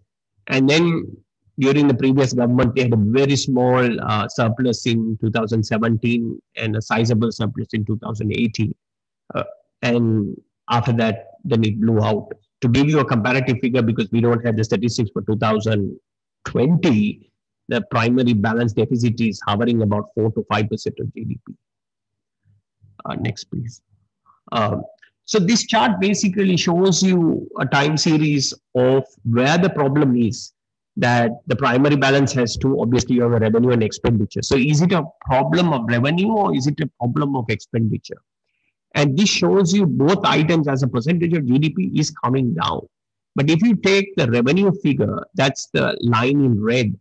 I mean, over a period of time, this has been coming down. And if you look at the primary balance, basically, the revenue, although the expenditure is also trending down, basically the revenue has been coming down faster than expenditure. Next, please. So let's look at what's the issue with revenue, right? And this is Sri Lanka's tax to GDP. And this is over about four years.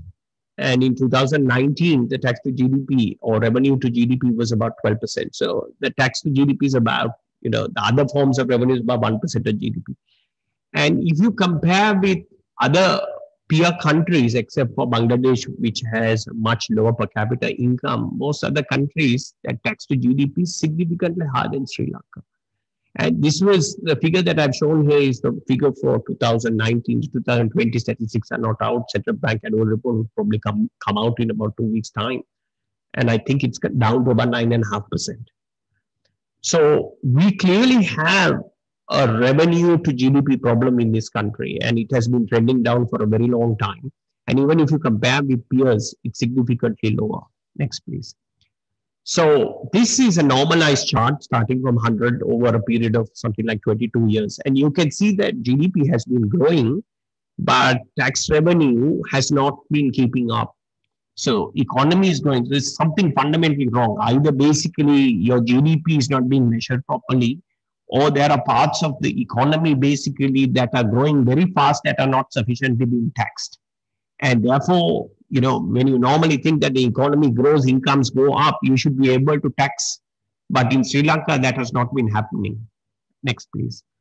Uh, so I, I, did this analysis to see uh, what would happen to a business uh, with 100 uh, million rupees of revenue starting back in 1998. And I inflated the revenue with uh, the GDP deflator to show that the business grew as fast as the economy and looked at what would happen to its tax rate over this period of time. And I did also for another business with only 50 million in revenue. So these are very small, like SME kind of businesses, you can think about it.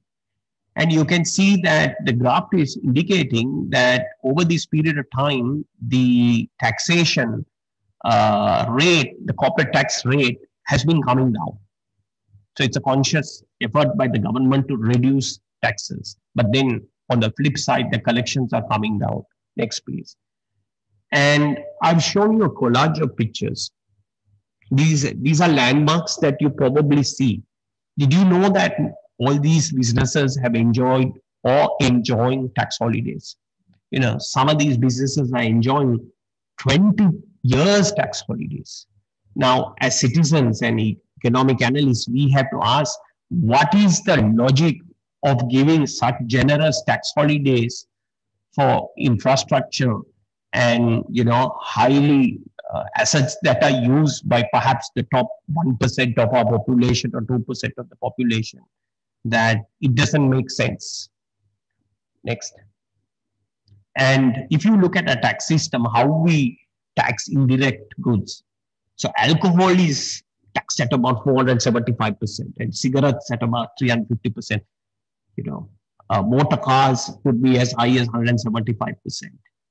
Uh, and then uh, on the on the right side, the protectionism. I mean, chocolates are taxed at 90% and ceramic tiles at 90%. So the question is that certain things are taxed extremely high, but we still have a serious issue with tax to GDP. You know, next please. And uh, this is something I showed you what happened to our VAT system. And uh, these charts you cannot absorb. but I will leave the presentation for anybody who is interested. And this details over 10 years what's happening to the VAT rate. So you can see that the rate is going up and there is a slider showing the threshold. So previously, if you had a business that had a turnover of 12 million rupees, you you had to pay VAT. They took it from 12 million rupees to 300 million rupees. So you excluded so many different businesses, you know, from the tax net, from the VAT net. Um, so again, these are contributing for poor revenue collection. Next. And then I also looked at the situation of a person, individual, you know, who in the first case, he was earning about 1.2 million rupees, about 100,000 rupees uh, a month of salary in 1998. And he had some small savings. And I added all of that and inflated it at inflation rate and saw what his effective tax rate would have been over a period of time. And if you look at the graphs, you can see that these are three different situations. In all three cases, basically, his uh, effective tax rate is coming down. And the next, please. And this shows you on the left-hand side uh, what the income tax bands are. But the interesting graph is on the right-hand side. The, the blue is the tax-free threshold. Now I have shown Sri Lanka, Thailand, Singapore, India, and Australia. The interesting thing is our tax-free threshold at 3 million rupees is higher than the tax-free threshold of Singapore and Australia, who probably have per capita incomes of 10 times that of Sri Lanka. Okay, so next please. And this is a chart of fuel prices and how we tax. So we, we tax everything at about like 37%. But in the case of diesel, we tax it at 20%, and that's called a tax subsidy. Petrol is about the same level. Now, normally fuel taxes in most countries have something called corrective taxes applied on that because you have externalities, you have traffic accidents, pollution, various other things. You want to discourage the use of, uh, you know, uh, petroleum fuels. But in Sri Lanka, we are giving a tax subsidy. That means we're, we are taxing these items less than what we tax everything else. Now, this is not even chocolates and biscuits, which are taxed at 90% imported, but normal things that we have a duty of about 15%, PAL of about 10%, and VAT of 8%. So you look at the cascading effects of all those taxes, it comes to about 36 or 37%. Next, please. And just to show uh, the sometimes the questionable policies that we follow in Sri Lanka, that this shows you petrol and diesel prices and on the left hand side, I mean, I've compared our South Asian peers, and you you have the per capita income of uh, Sri Lanka, which is much higher than all our South Asian peers. But look at petrol and diesel prices. You know, India, which has a per capita of 2,000 versus ours close to 4,000, you know, as, as we speak, our diesel price has not been changed for the last four to five years, I think. And we are at 104. India is at 217 rupees. And our petrol price is 137. India is 243. So again, one reason is India, ever since Modi came, he has been taxing people, right? Maybe excessively. But compared to our South Asian peers, even country like Bangladesh, who by the way is doing eh, Bangladesh was the laughing stock, you know, of the world 30 years ago. Today we are going to ask them money for loans, but they have followed rational economic policies that their per capita income is much lower than Sri Lanka, but the prices are more reflective of a scarce resource. Next, please. And another problem of why this happens to us, I mean, in the last 26 years, for 61% of the time, we haven't had a full-time finance minister. And a finance minister is a bad cop. You know, he's always bringing bad news. He has to tax you or he has to cut spending. But the head of the country, the president, the prime minister, the finance minister, I mean, he, he has to be by nature the party leader and a populist. He can't be telling you bad news, basically. So, you know, no country has this situation where we don't have full-time finance ministers. Next, please. Okay, very quickly uh, about microeconomic concepts. Next. So the graph on the left is something that you probably have seen before you will be introduced. But keep in mind that when you look at prices, it's always what happens at the margin. Always what happens at the margin, right? So think about the marginal demand versus the marginal supply. And what determines marginal demand? There is a spot demand. There is something called forwards that people have committed to buy and a buildup of inventory. Similarly, on the supply side, you can have spot and you could have forwards where commitments to sell or drawdown of inventory. Now, these on each side of this equation, these are the three forces that come together finally at the margin to determine what the price is going to be. Next. So I gave an example of energy, energy price volatility. And I took three different products, thermal coal, crude oil, and natural gas. And if you look at the graph at the bottom, those are volatility charts. And what it is showing you is 30-day volatilities for each of these commodities. These are international commodities, right? I took this out of the Bloomberg terminal. And you can see, although the scale is a bit this thing, that thermal coal has a lower volatility to crude oil to natural gas. Next, please. And if you ask the question, why is that happening? The most important thing is in a good, look at the physical form of the good. Okay. So in the case of thermal coal, it's a solid. In the case of crude oil, it's a liquid. In the case of natural gas, it's a gas. The first thing is if you want to shut supply of thermal coal, you just shut the mine down, right? You dig it out of the ground. In the case of crude oil, you can't switch it off that easily. Okay. And natural gas is extremely difficult. You have to burn it. Basically, you can't switch it off. Thermal coal is easy to store. So just dump it on a piece of empty land. In the case of crude oil, you need tanks. And in the case of natural gas, it is extremely expensive to store because you have to liquefy it and you have to cool it down to something like minus 180 degrees Celsius or something. So very expensive to store. And because you, you have the storage problem, it is giving rise to this volatility because the storage is very expensive. So when you want the market to balance, you, you have huge price volatilities for that adjustment to happen.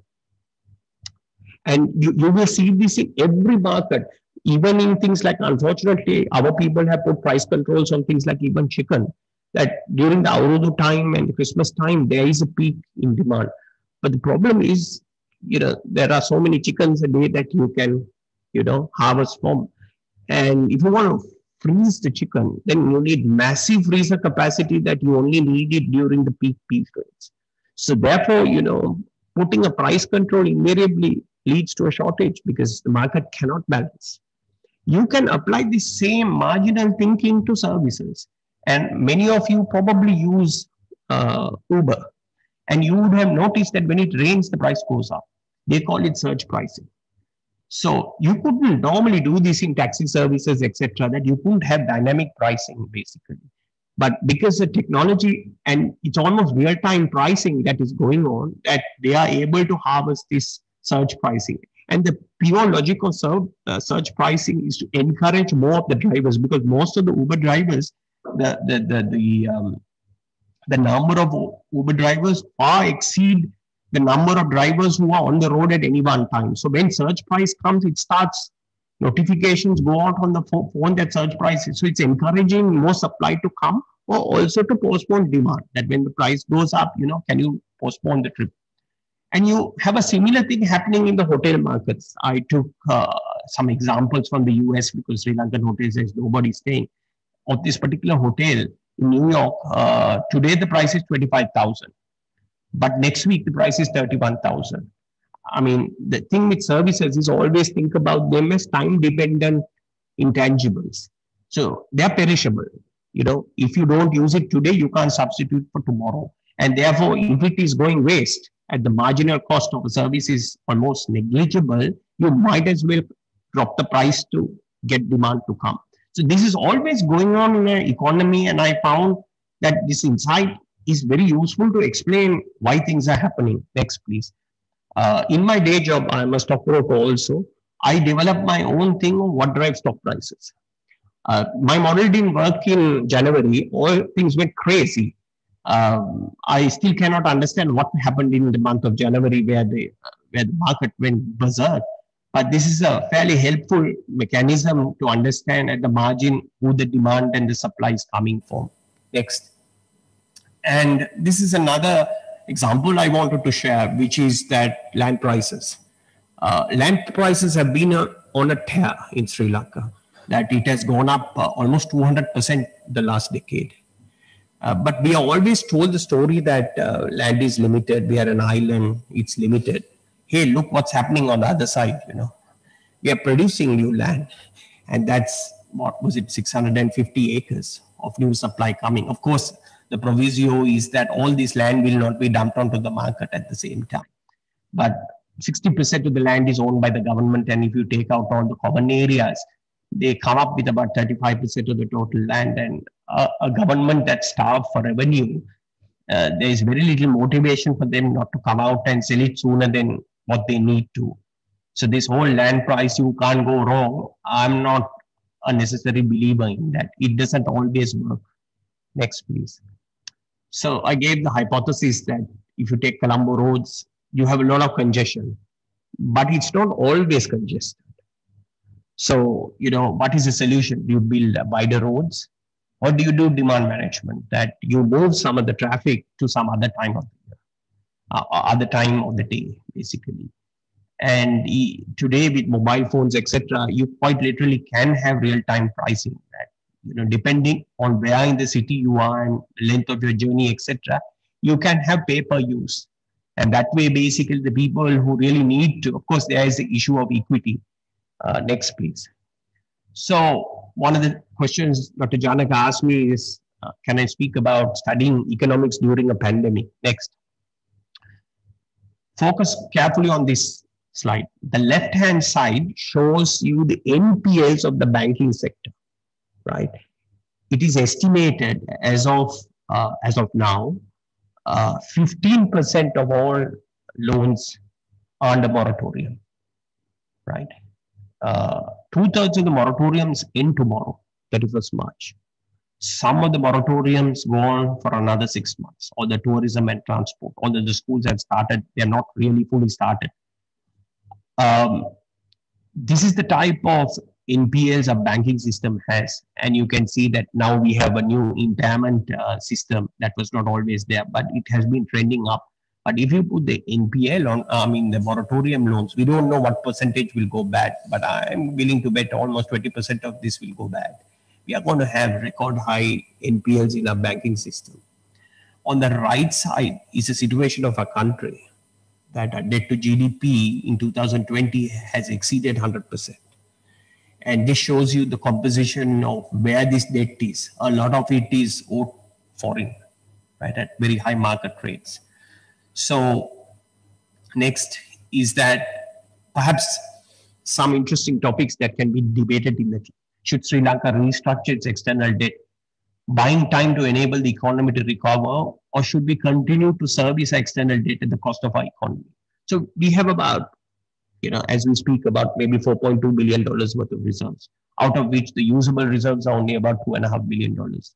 So are we going to take this tiny amount of money and keep paying our creditors, which means that what we need to import for our own consumption, we will have to compress and compress. Or should we just restructure the debt and say that the creditors anyway have taken a haircut because these instruments are trading at 40% discount to their face value and use whatever precious reserves that we have for our own needs. The, the government basically is taking the view that we will honor our debts. I don't I don't think that is a good policy. And I've given you two podcasts um, which are worth listening to. And similarly about debt relief, and I've given you some links to this whole argument in the US because every every borrower is backed up by a lender. So who takes the pain? Or does the government come and do some kind of debt haircut? Uh, because does the economy recover faster due to that? Next, please.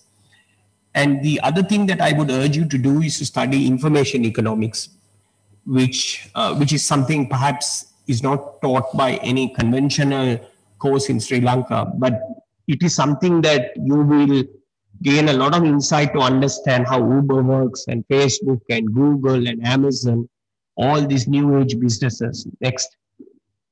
Uh, and I have given you a whole bunch of references for you if you're interested, some of them YouTube, etc., to go and uh, learn about this subject. Um, the two interesting economists to follow is a guy called Hal Varian. I don't know whether you use that book here called Intermediate Microeconomics. Um, he is a Berkeley professor.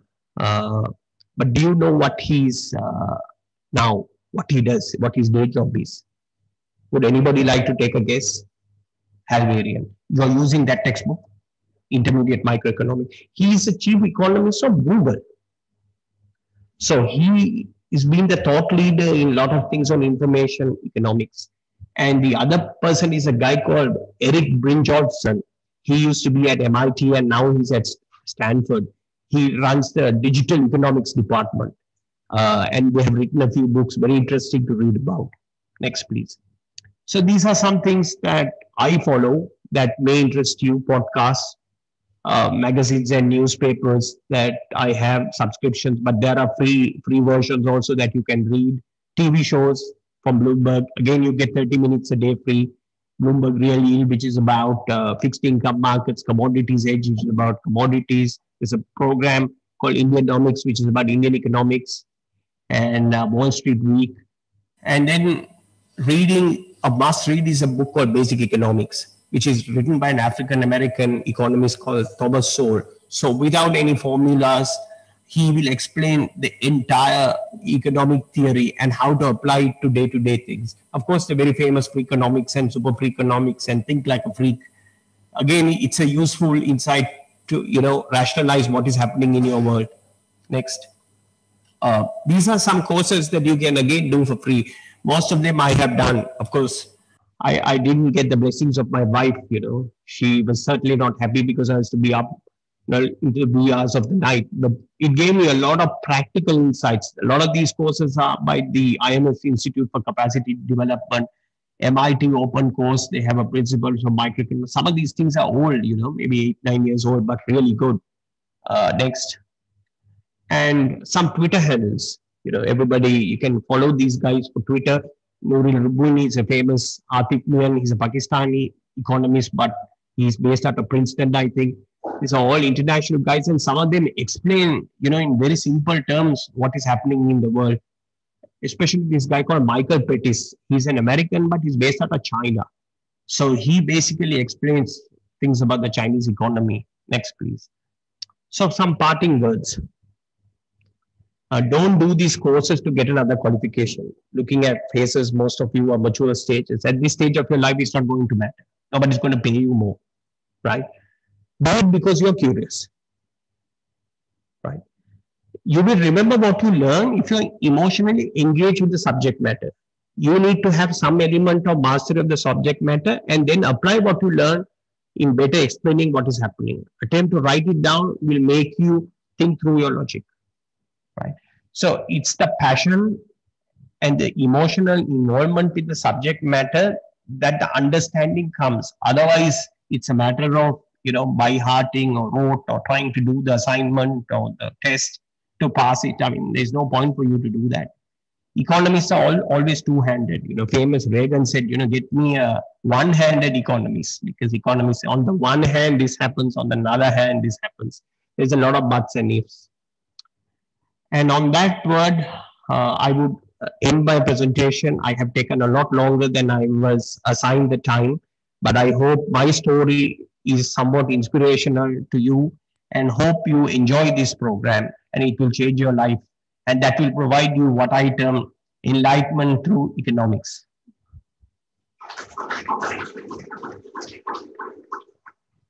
Thank you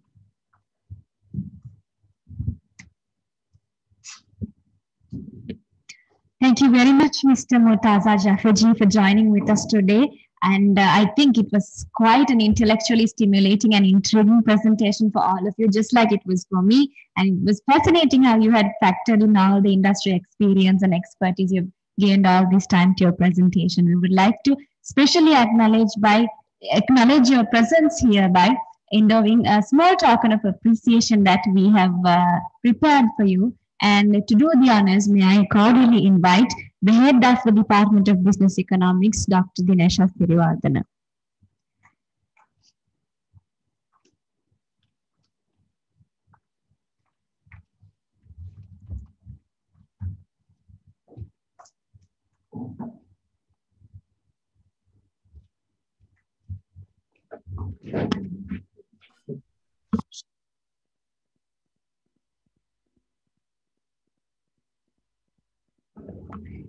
Thank you very much once again for joining with us, uh, and we hope you have a wonderful uh, evening, sir.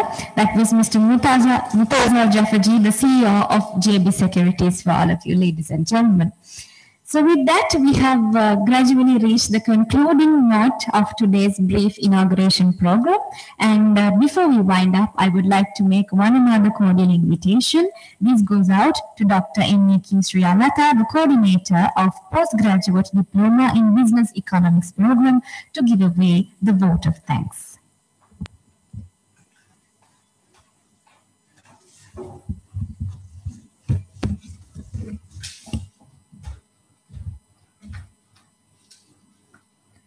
Thank you very much.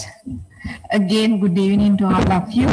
And as we near to the close to today's event, on behalf of the Department of Business Economics, I take this opportunity to thank you all those who have contributed in one way or the other way to make this event success.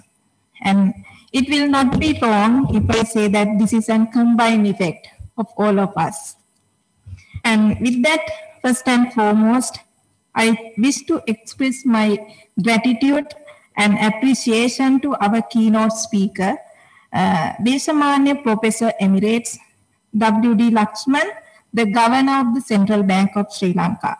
Sir, thank you very much for your accepting our invitation with a very short notice and making time your busy schedule to share your insights and knowledge, experience, and expertise with us. Next, my heartiest gratitude goes to our special speaker, the Professor Sampath Amaratunge, Professor Chair of Business Economics, as well as the Chairman, the University Grant Commission. Thank you very much, sir, for sparing your valuable time to be a part of our member in this occasion and your precise insight shared today made our event fruitful. Moreover, I wish to sincerely thank to our guest speaker, Mr. Jafferjee, the Chief Executive Officer, JB Securities, for taking time off your busy schedules to be here with us today with a very short notice. Thank you very much. And uh, I am sure that you have opened up minds to our students to many aspects in the field of business economics. Thank you very much.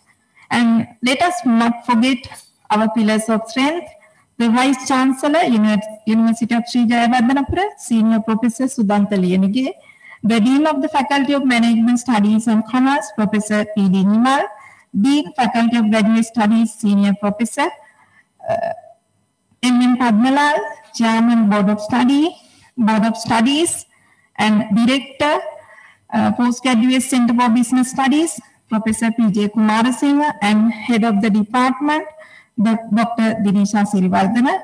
Without their guidance and support, these postgraduate programs would not have come into being. At the same time, on behalf of the Department of Business Economics, I wish to extend my appreciation to Assistant Registrars of the University and Faculty of Management Studies and Commerce for their necessary guidance and support. Moreover, I am thankful to all the academic members of our department and also Faculty of Management Studies and Commerce for their continuous support. Further, I am thankful to all our non-academic staff, members and technical officers of the faculty for rendering their support services whenever necessary. Finally, let, yet importantly, I would like to thank all our students, the new students who have come from distant places to attend this event and those who have joined virtually. Uh, your participation added the new color to our event and thank you very much and we hope that you will be uh, having fruitful journey with us for the next few years. And before concluding, let me express my sincere gratitude and appreciation to all who have helped in numerous ways to make this event success. And thank you for all. Good night.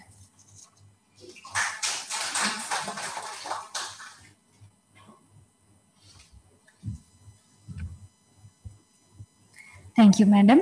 And with that, ladies and gentlemen, we have reached the conclusion of today's brief program. So once again, I believe we all can uh, unanimously agree that uh, it was a fruitful discussion that was initiated today, which was quite intriguing, stimulating intellectually, and which was fruitfully received by all of you. So we wish all of you, our new candidates, all the very best in your future endeavors and all the very best for the journeys that you have just embarked upon. So while warmly welcome you once again to the family of Department of Business Economics, we assure you that you are in safe hands, wishing you all the very good luck that you need in the future. Stay safe until we meet again. So before conclusion, ladies and gentlemen, please rise for the national anthem.